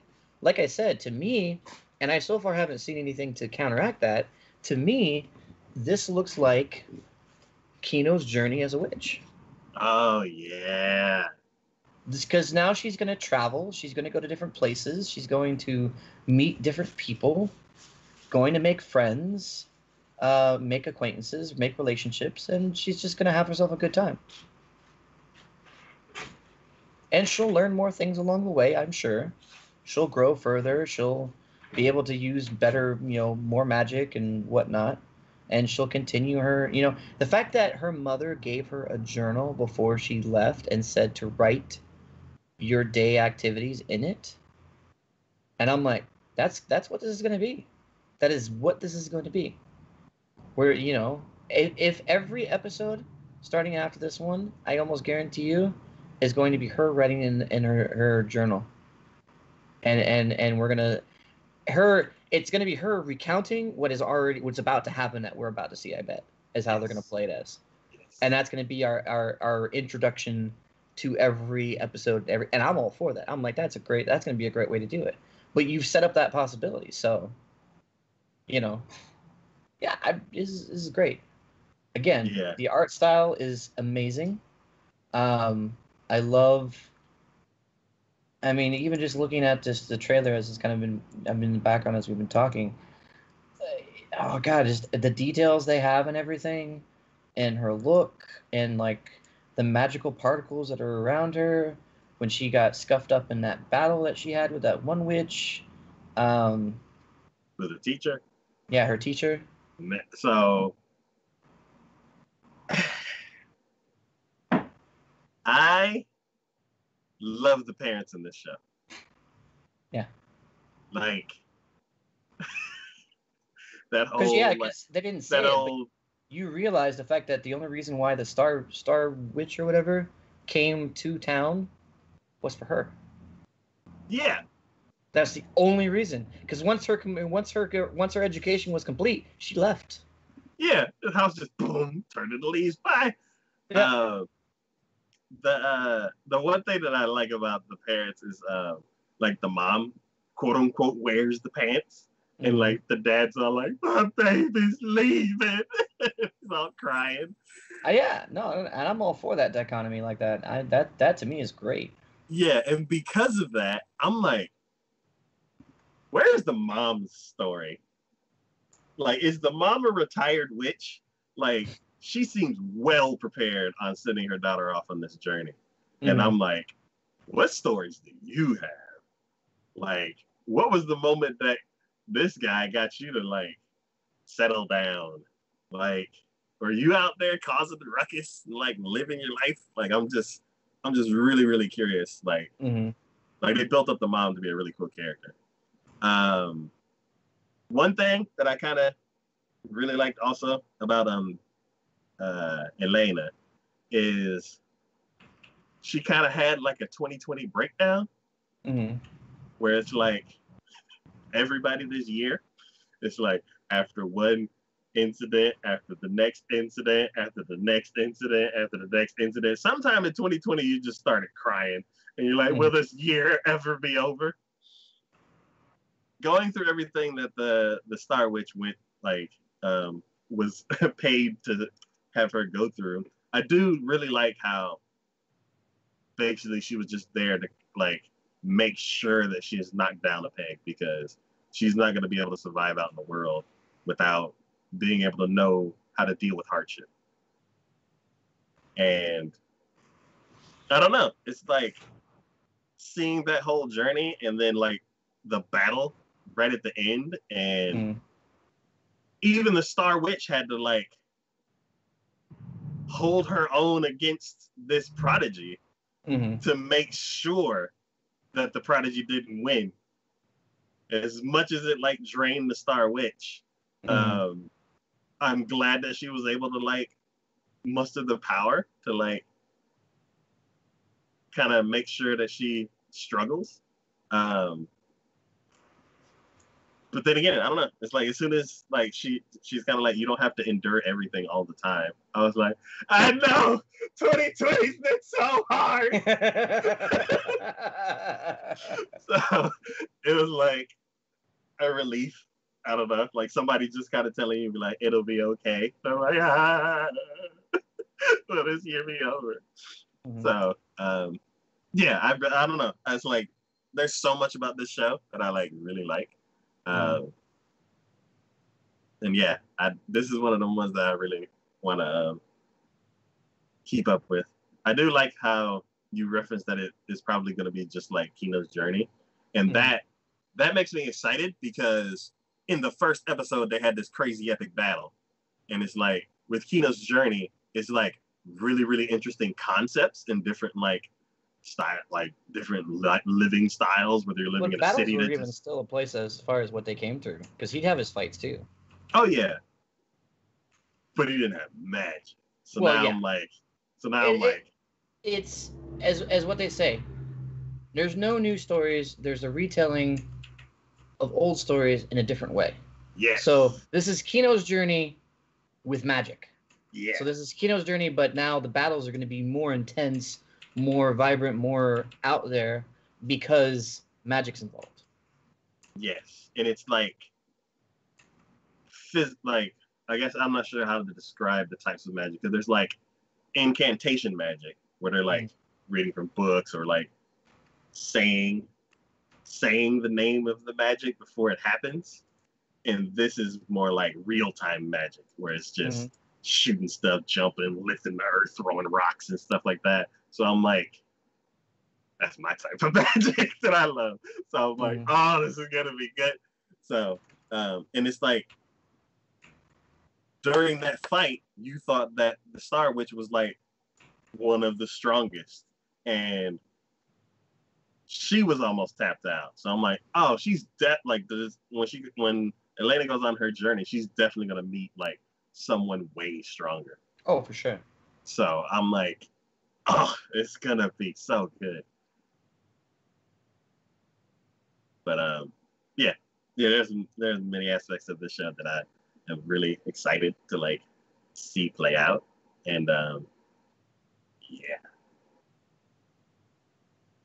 For sure. I'm I'm excited about this one. I, I would honestly say out of all of them, this is probably this is easily in my top three for this season. oh yeah, I'm I'm kind of vying for what uh, ones we said. I know Dungeon's got to be up there as well. oh definitely. So I would say Dungeon, uh, Jujutsu, and this and this one are probably like in my top three. I don't know what Okay. order they're in, Mhm. but I know they're in top three. Okay. Uh, so since we mentioned it, I kind of want to do a little. I don't have a picture for it, but for Burn the Witch. Mm-hmm. So this show, I am. I just say I am totally not a fan, and immediately dropped it halfway through the episode. so it's weird. Like there's witches, but they ride on dragons instead of brooms. And um what is the name of that one show? Um ah there's it's a show by Bones. Maybe I can find it if I look up Bones. Um and I think we talked about it on the show. Um, oh, keyboard. Um, and it's yeah, I can't. I, I can hear the intro and everything. Um, but yeah, it's a really really cool show done by Bones. Um, it has uh, I think it has mechs in it. um, and just the like the animation style from Burn the Witch like reminds me of shows that are usually done by Bones. I'm not sure Mhm. if this show is done by Bones. I don't think it is. What's the Japanese name? um, but uh, yeah. So uh, uh, so for Burn the Witch, um, I really like. I just like the design of all the characters. Um, I like how the, like usual, the blonde um, character is kind of like the wild and crazy one. Mhm. Um, it's interesting that they they um, they ride on dragons. I do like all the different styles of dragon, like dog dragon, and I'm like, you just made that up. That's not a thing. yeah, yeah, yeah. Come on, Um, I, I gotta. You see, maybe that's where my like my thing came from because I hear dragons and I'm like I get all excited because I'm like dragons, and then they're like it's a dog dragon. I'm like bullshit, bullshit. Y'all ruined it. yeah. Um, there's um, and then like, like just the the fight style, like like this is one of the ones that I watched like a week ago, so I can't remember exactly everything. Oh, when the dragon. Oh, you probably didn't see that part. So they did you see where they upper, basically uppercutted the dragon with like a magic spell? No. Okay, so um, so basically that that airheaded guy, like the empty-headed guy, that had, that was like Yeah, walking the, English. the flying dog. Yeah. yeah. So when he finally stops, like uh, they catch up to him, and they start kind of going into his backstory a little bit. He's basically kind of like a curse, where it's like th- things are just drawn to him. So basically, dragons are attracted to him, and as soon as they say that, this giant dragon just shows up out of nowhere and it's like, "Nah." and I'm like, and, it, uh, and I say "Nah" like that because the face of the dragon looks like it would make that sound. um, This makes it worse. That sound should never come from a dragon. it's, it's a dumb looking dragon.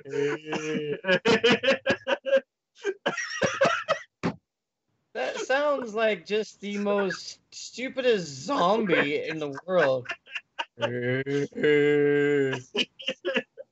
so um they uh she casts this kind of um, like spell it's like stun spell and like just basically like hits the chin of the dragon knocks the dragon out it falls and like lands on this building and then i'm like just like with the incredibles how when the when a superhero saves a town then all of a sudden there's insurance and like liability that they go through and all that kind of stuff ever since i've ever since that show uh, that movie came out i've always thought about that as far as like superhero movies and like any show that causes like a lot of destruction.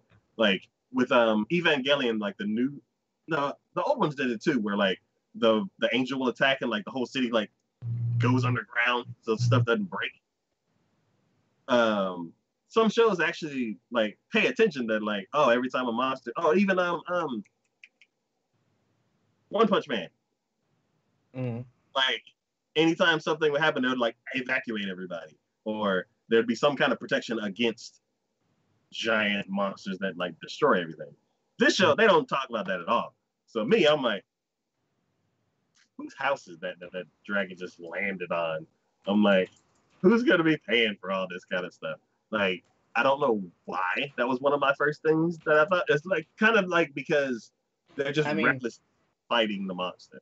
Maybe it's maybe it's because we you know have now come to have that thought put in our heads now becomes because of things like Age of Ultron and Superman and all those other superhero type movies that have now breached the subject of like collateral damage and the effects fighting these creatures, monsters, villains have on the populace and the buildings and the people around them. Yeah, and I would say another thing that comes from that is like characters that are conscious of their surroundings, like Bakugo when he was um, no, no, not Bakugo. Um, No, you're right. I think they, if I know you're talking about. Because the, when, other- when the they other- were the, the guy, the other guy, the main guy. because when they were fighting when they were fighting All Might, they um in that training session, they used a part of the the town that they were fighting in that had already been destroyed by All Might's smash instead of going into a new area in order to minimize the amount of damage that was done. Yes, Like when when they use when they use Bakugo's gauntlets. Yes. So that's a good example too. But then, um, like I guess being uh the situation is that I'm trying to figure out. What is the other guy's name? That that the Deku, Deku. Deku. Yes, the Deku. He's conscious of his surroundings when he can't get away from like get to somewhere safe. He'll all, he'll he'll make sure that he doesn't mess up the surroundings that he's currently in. Like when he first met um the All Might's teacher, and um, Oh yeah, yeah, yeah. Oh no, no, or was it um, or was it the um the other guy where he had to get something from him, but then every place that he jumped around, he made sure he didn't like step on like a like a painting or something like that on the wall, mm-hmm. and he made sure not Oh yeah, you're talking about Night Eye. to. Nah, yes, yeah, yeah, yeah. yeah. So we that like because of like all the media and stuff like that that like is worried about collateral damage, we there has been created characters that are aware of their surroundings and make sure that they don't destroy the city. These characters did not pay attention to that at all. Just like stun magic, uppercut, hits the dragon in the chin, knocks it out, it falls back, lands on a building, and like too bad for everybody in that building. Um, so, um, one thing I was thinking that, and I'm like, okay, well now what are they gonna do? Are they just gonna be like, ah, dragon's dead, let's walk off? And they kind of started doing that, but then it went back to the dragon, and like, all of a sudden, this like, you know, when they uh, when like either there's a super thin wire or a really really sharp sword, and they're just like slice, and nothing happens right away. But then a couple seconds later, you see like this little line go, and then like it either falls apart or something like that. Yeah, yeah. So the same thing happened with the dragon's head, and I was like, "You said stun, not slice the dragon's face off." I was like, "What? What kind of stun are you using?" And then all of a sudden, the dragon's face just fell to the ground, and inside his head was another flat, like kind of like a pig nose, but it was another face.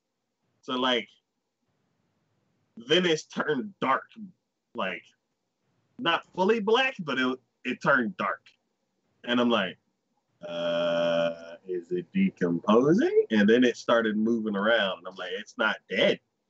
And they're like, like alarms go off. They're like, air, air, we have a dark dragon loose. And I'm like, did y'all not know that thing can turn into a dark dragon? Like, how? Y'all have a system for that where you like block off the city because apparently they're only worried about dark dragons. They're not worried about regular dragons breaking stuff. So I'm like, okay. And then they proceed to fight the dark dragon, and it gets even crazier. And I'm like, action shows like that are shows that I'm like, they excite me. So, Burn the Witch, it is animated well, and the action is crazy. So I like it. Hmm. I do I do know that you're a fan of dragons, so you have a higher standard. Like a doggy dragon is probably the dumbest thing that you've ever heard of. But I don't know. It's like if it was a dragon that like if it was a, a little fluffy dog that had tiny dragon wings that like floated next to a person, and was like, hey, what are we doing today? I would have been like, no, because I don't like little familiars that look weird. So See, now if it had been a little tiny dragon dog with like, you know, scales, you know, actually, if it actually had like, say it had been like the size of a medium-sized dog. Uh-huh. So and so instead, like it had what looked like fur, but then going off like the back of it from down the spine would have been like scales, with then like the tail actually being maybe the tail of what a normal dragon would be, and then having wings coming out from the side, Hmm. and maybe not being sentient, like being able to talk, but at least flying around like that, having more of a look of a dragon. Yeah. I could go, okay, fair enough. You turned a dog into a dragon. Got it. Sure. Yeah. I'm on board. But it didn't look like a goddamn thing like a goddamn dragon. yeah. So, no. Just no. So yeah, um, crazy cool action show, animated well. I really like it. Um, if you're a fan of dragons, it's like a huge fence. You're either on the they're in, stuff with dragon stuff, or like that's not how dragons work. So either you're willing to suspend your disbelief on what they think dragons are, or you're like, "Ah, fuck off, that's not a dragon. yeah. So um, I have no idea why it's burn the witch. Like they like cast spells. They're like stun magic and like Stun magic. Cut your face off. Man, I'm gonna, I'm gonna, I'm gonna, I'm gonna make a game where one of the options in it is stun magic, and you just slice, decapitate somebody. stun magic, and you're like, shush, and, I'm, and everyone's gonna be like, how the hell is that stun? he's not moving anymore, is he? I'll be like, you know what? I said stun magic. You're stunned right now, aren't you? It's magic. but uh, yeah, I wish I would have watched it like this week because uh, there's a few more things about the show, but I just I just can't remember the details. Um, but yeah, the last show we're gonna be talking about is Sengoku no Sig Sig Drift or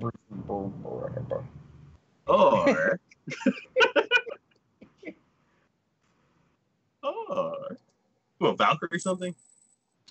Uh, Warlords of Sigurda? Yeah, okay, Or, Warlords. of no. Sigurd, Sigurd Some other word. Okay, did you watch this one? Yes. What did you think? Ah, I like the characters. Mm-hmm.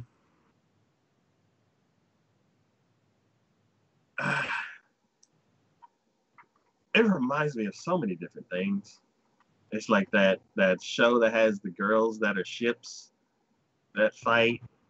I'm at then- least glad that they don't turn into airplanes and fight. yes. Um, and then I guess that's the only show it reminds me of. It reminds me of that, but it's like done differently because I can't say that it's really done well because there's certain like one thing that one thing that threw me off because of Funimation it I set my account to be like Japanese with English subtitles. And every now and then the the app will be like English? English with English subtitles. And I'm like watching the show and the show starts out with a battle and there's these eh, these uh fighter pilots. So they're Mhm. flying around in jets and they're like, "Mayday, mayday, come in. We got to get them." And I'm like, that was kind of said weird, but oh well.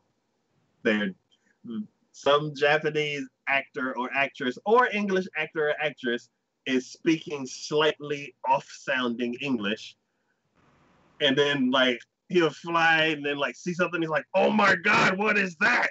And I'm like, "How long are these people gonna talk? Like, are we gonna switch over to the Japanese characters? Because uh, I'm this." I'm losing interest at by the by the word. And he's like, Did we get them? Oh my god. And I'm like,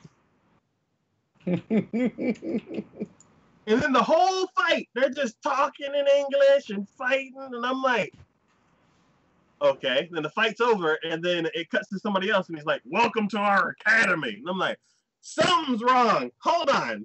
And I go to settings, and I'm like, oh, it's in English. Oh, so I go back, start the whole episode over. It's all in Japanese, Mm-hmm. and I'm like, like, I can't. Let's let's reset. And um, I like the characters. Like I said, uh, it's it's interesting how there's like magical creatures, fighter jets like F-16s and stuff like that, and then biplanes Mm-hmm.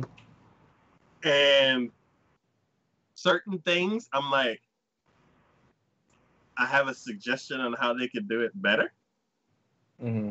and then other times I'm like, man, that's cool. So my feelings about this, I'm like all over the place. Like one thing that I thought that they could do better was, I guess she has this magical bullet, and she's about to shoot it at the thing, and the thing has all these shields that it's just blocking stuff with. Yeah, as soon yeah. as she like locks and loads that magical bullet, it's like, oh, let me stack all of these shields in this tiny little circle. just and then she shoots it and it's just like crunch, crunch, crunch, crunch, crunch, crunch, dead. And I'm like, why?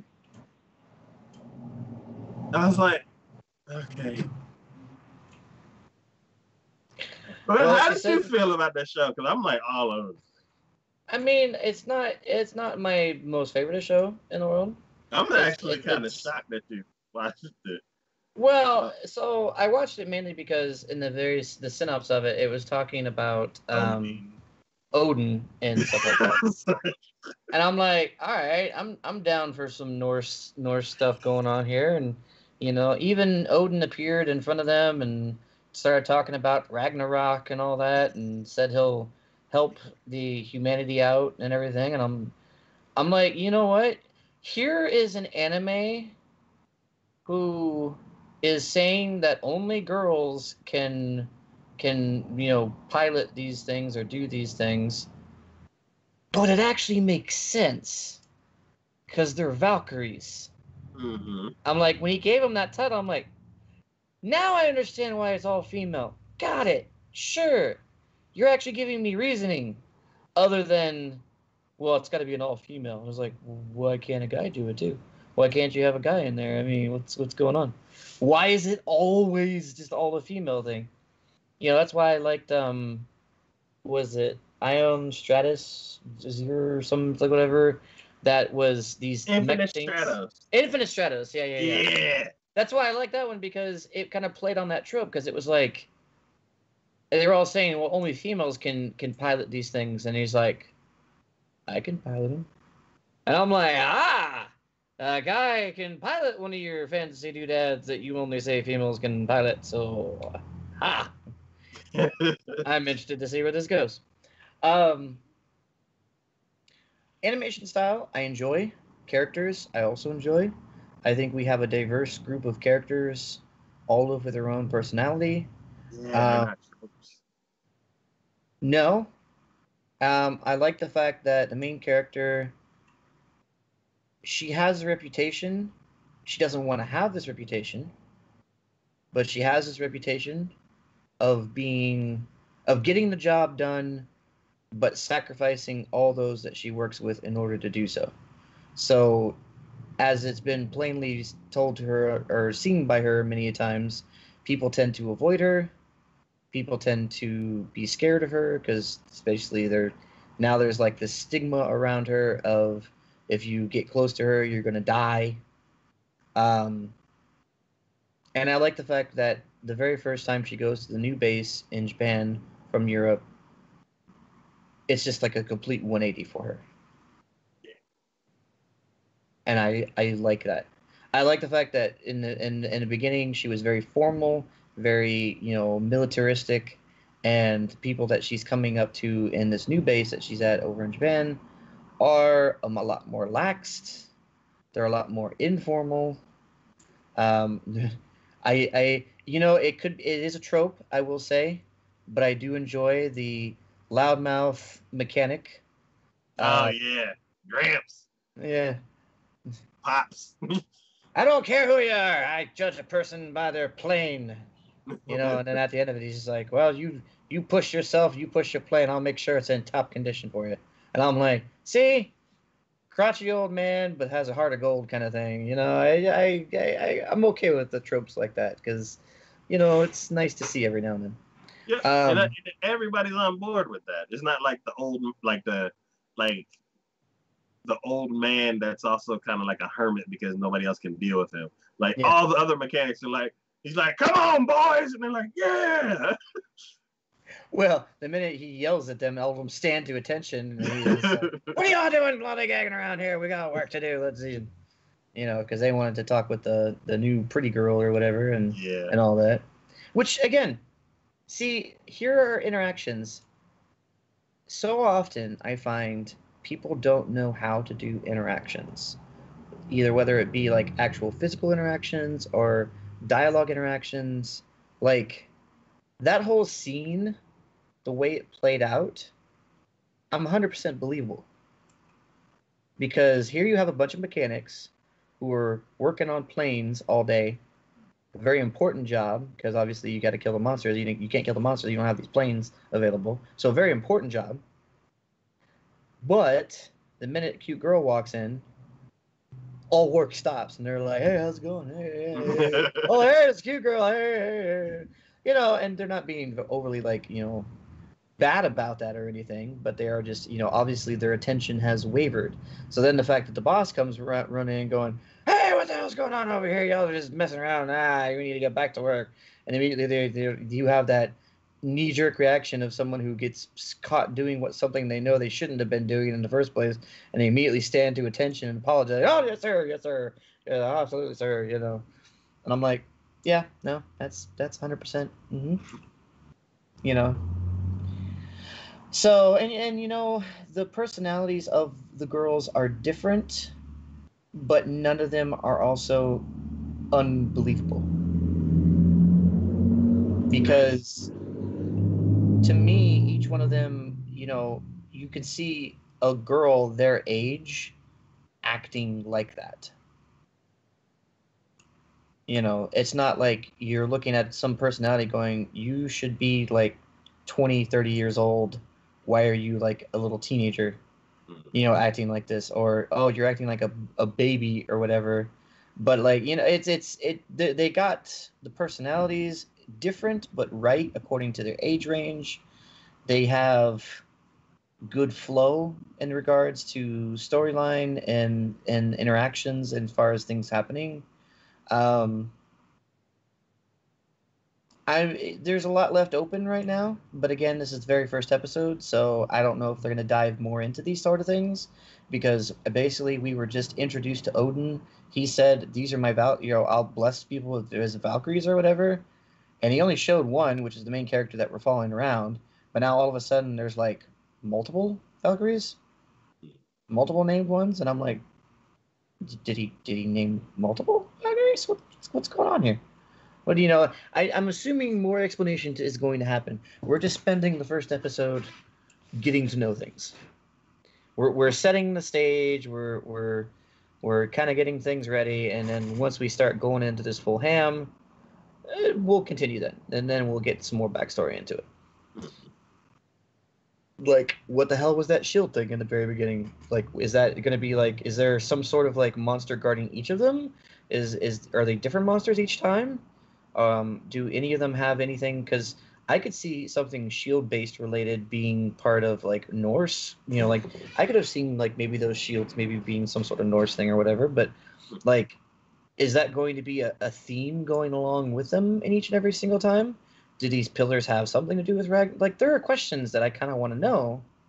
So i'm willing to you know overlook maybe a few nitpicky things in regards to that because i think the best thing you can do in your very first episode is make your audience question is make your audience want to know more want to know why want to know what is the deal with these things and and once you do that and once you have your audience hooked then you can develop things then you can then you can go from there. That's why you know a lot of people say when it comes to writing books, the most important you literally have sometimes even just the first sentence is your very most important sentence you could ever write.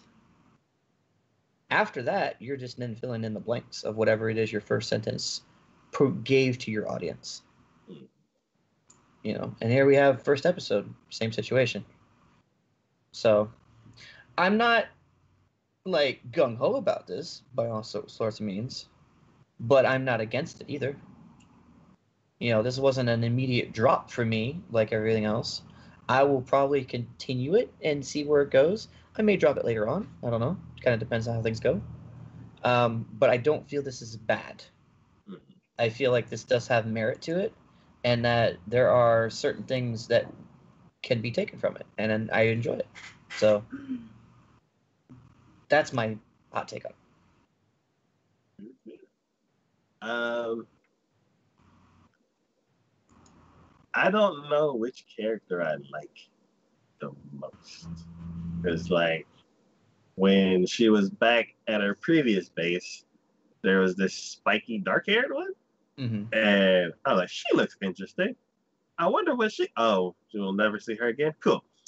Uh, and then you get this whole crew that like comes to escort the uh, the other um, ship, and they just take a bundle of characters and be like, here.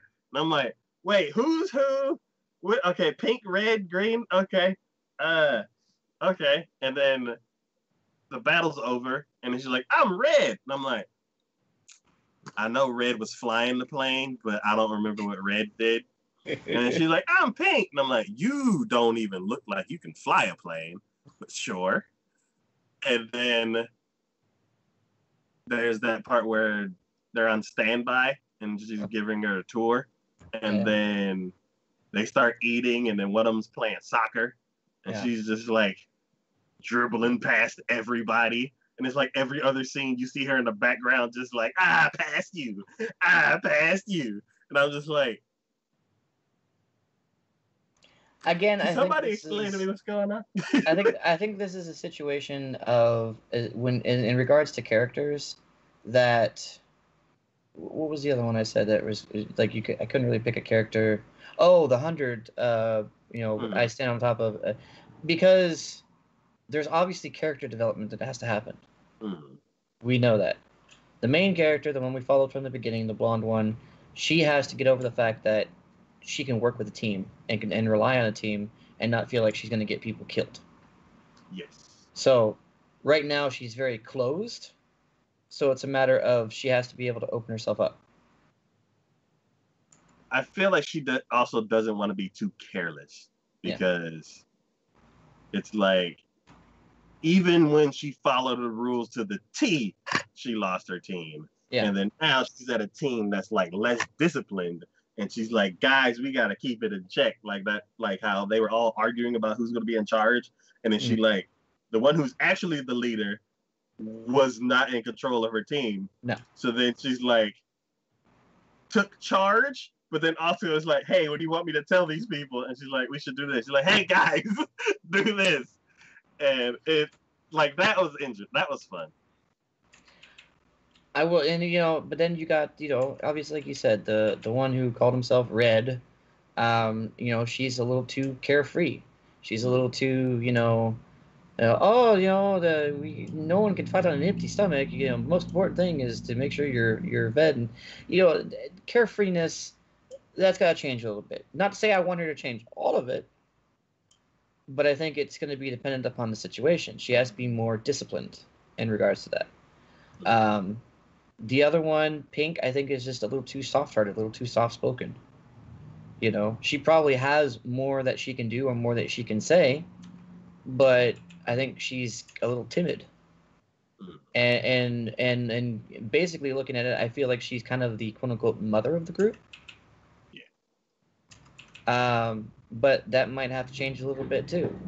And then you have the leader, quote unquote, that we came across, the one in, that was in the gray, whatever. And she doesn't really act like much of a leader. You know, so like she's always trying to prove herself. She is. She feels like she has to prove herself, but what she does in order to do that is incorrect. Um, so there's obviously a lot of character development and character growth involved in this, and I hope to see more of that and see where that leads to.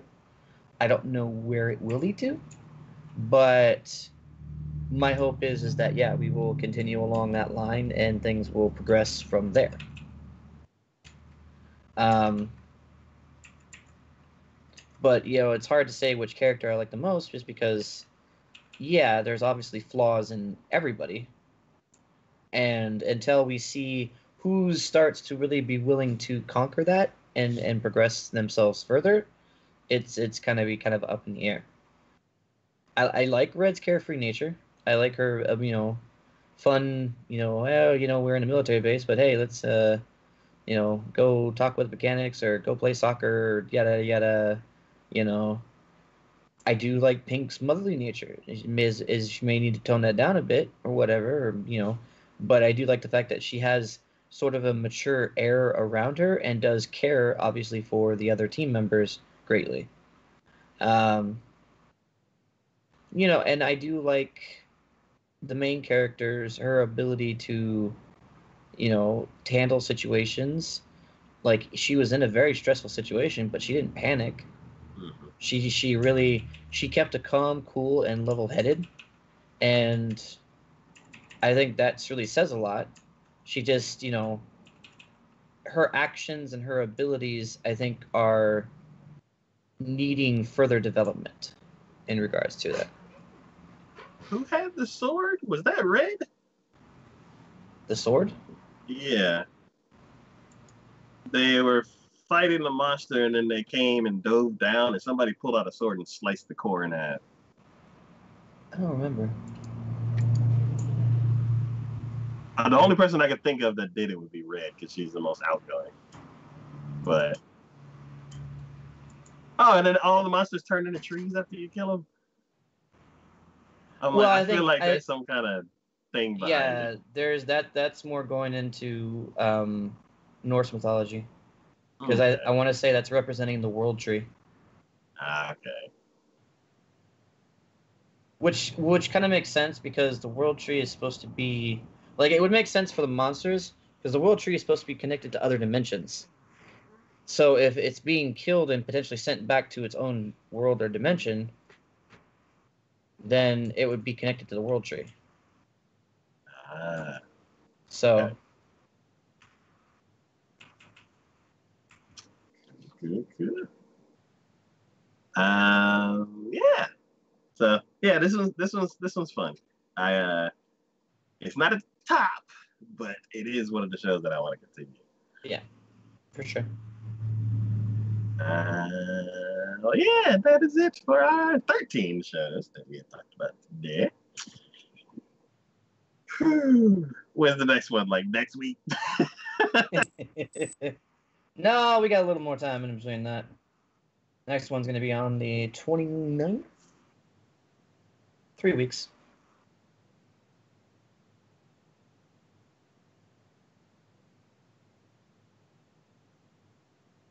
And is that going to be for the new season? Wait, why can't I hear you?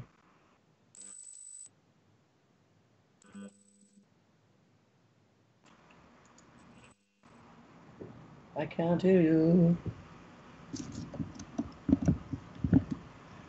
I know my sound's fine.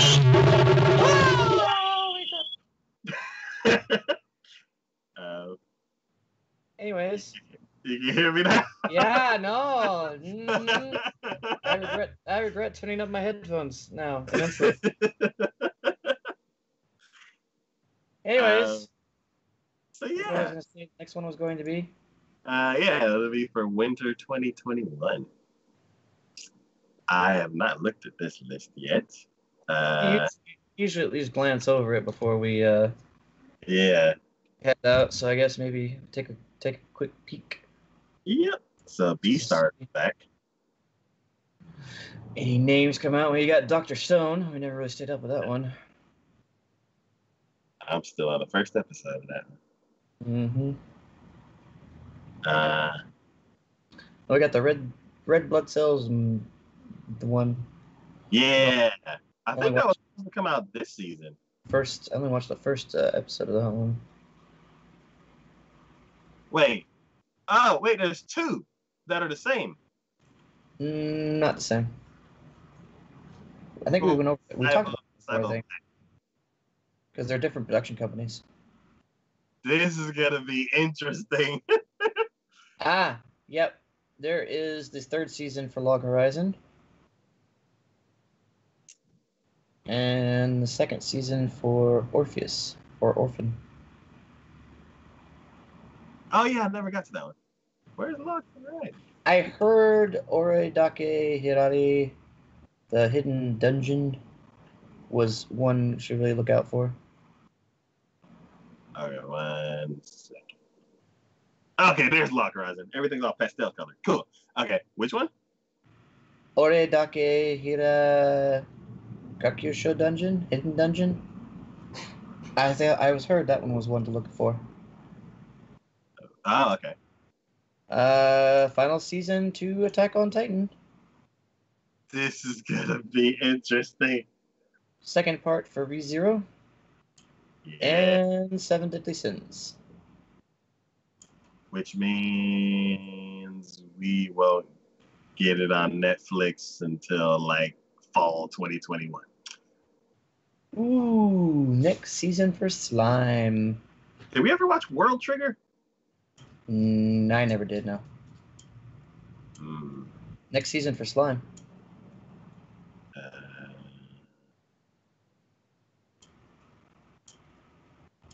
Tensei Shitara Slime.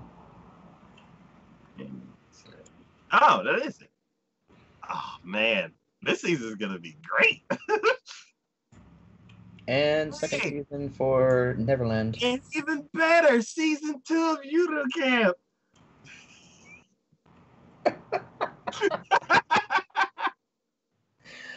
Oh shit! Yeah, yeah, yeah, yeah. Season two. Uh, Can't wait. Can't wait. oh, Non Non Biyori. Nope. I don't care how cute they are. No. The only ones can can even over from this season: Higurashi, Jujutsu, and King's Raid. So, Higurashi and Jujutsu. Higurashi's going across two seasons? Yep. Yeah, Apparently. they're blending them together.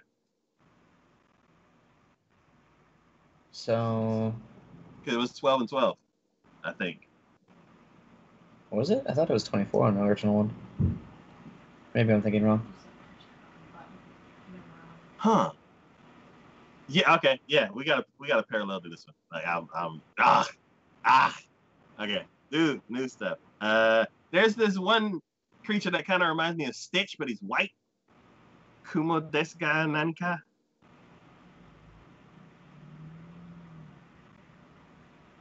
Hmm. No, that's a spider. Oh. Okay, I see the extra arms. That's a spider. so no for you. That's a no. That's a hard no. okay.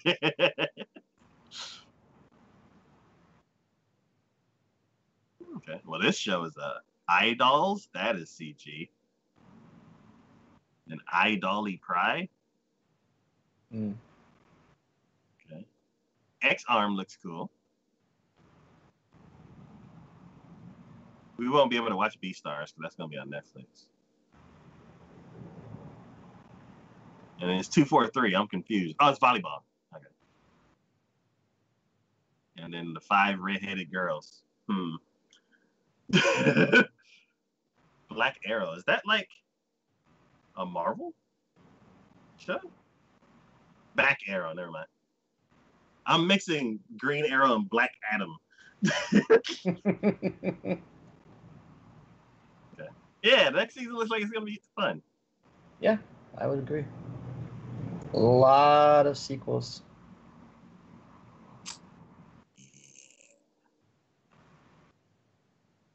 All right. Well, um, yeah, I'm taking a break at what the latter half of December. So Mhm. no promises, but I should be able to catch up on some stuff. we shall see. Yeah. We shall see. All right. Well, yeah, we will be back on the 29th for our upcoming thoughts on these trailers. And yeah. As always, this is DK and Shade from TacoYaki Anime. Thank you for watching. Thanks for hanging out in chat. Thanks for supporting the channel in any way that you do. And we will catch y'all next time.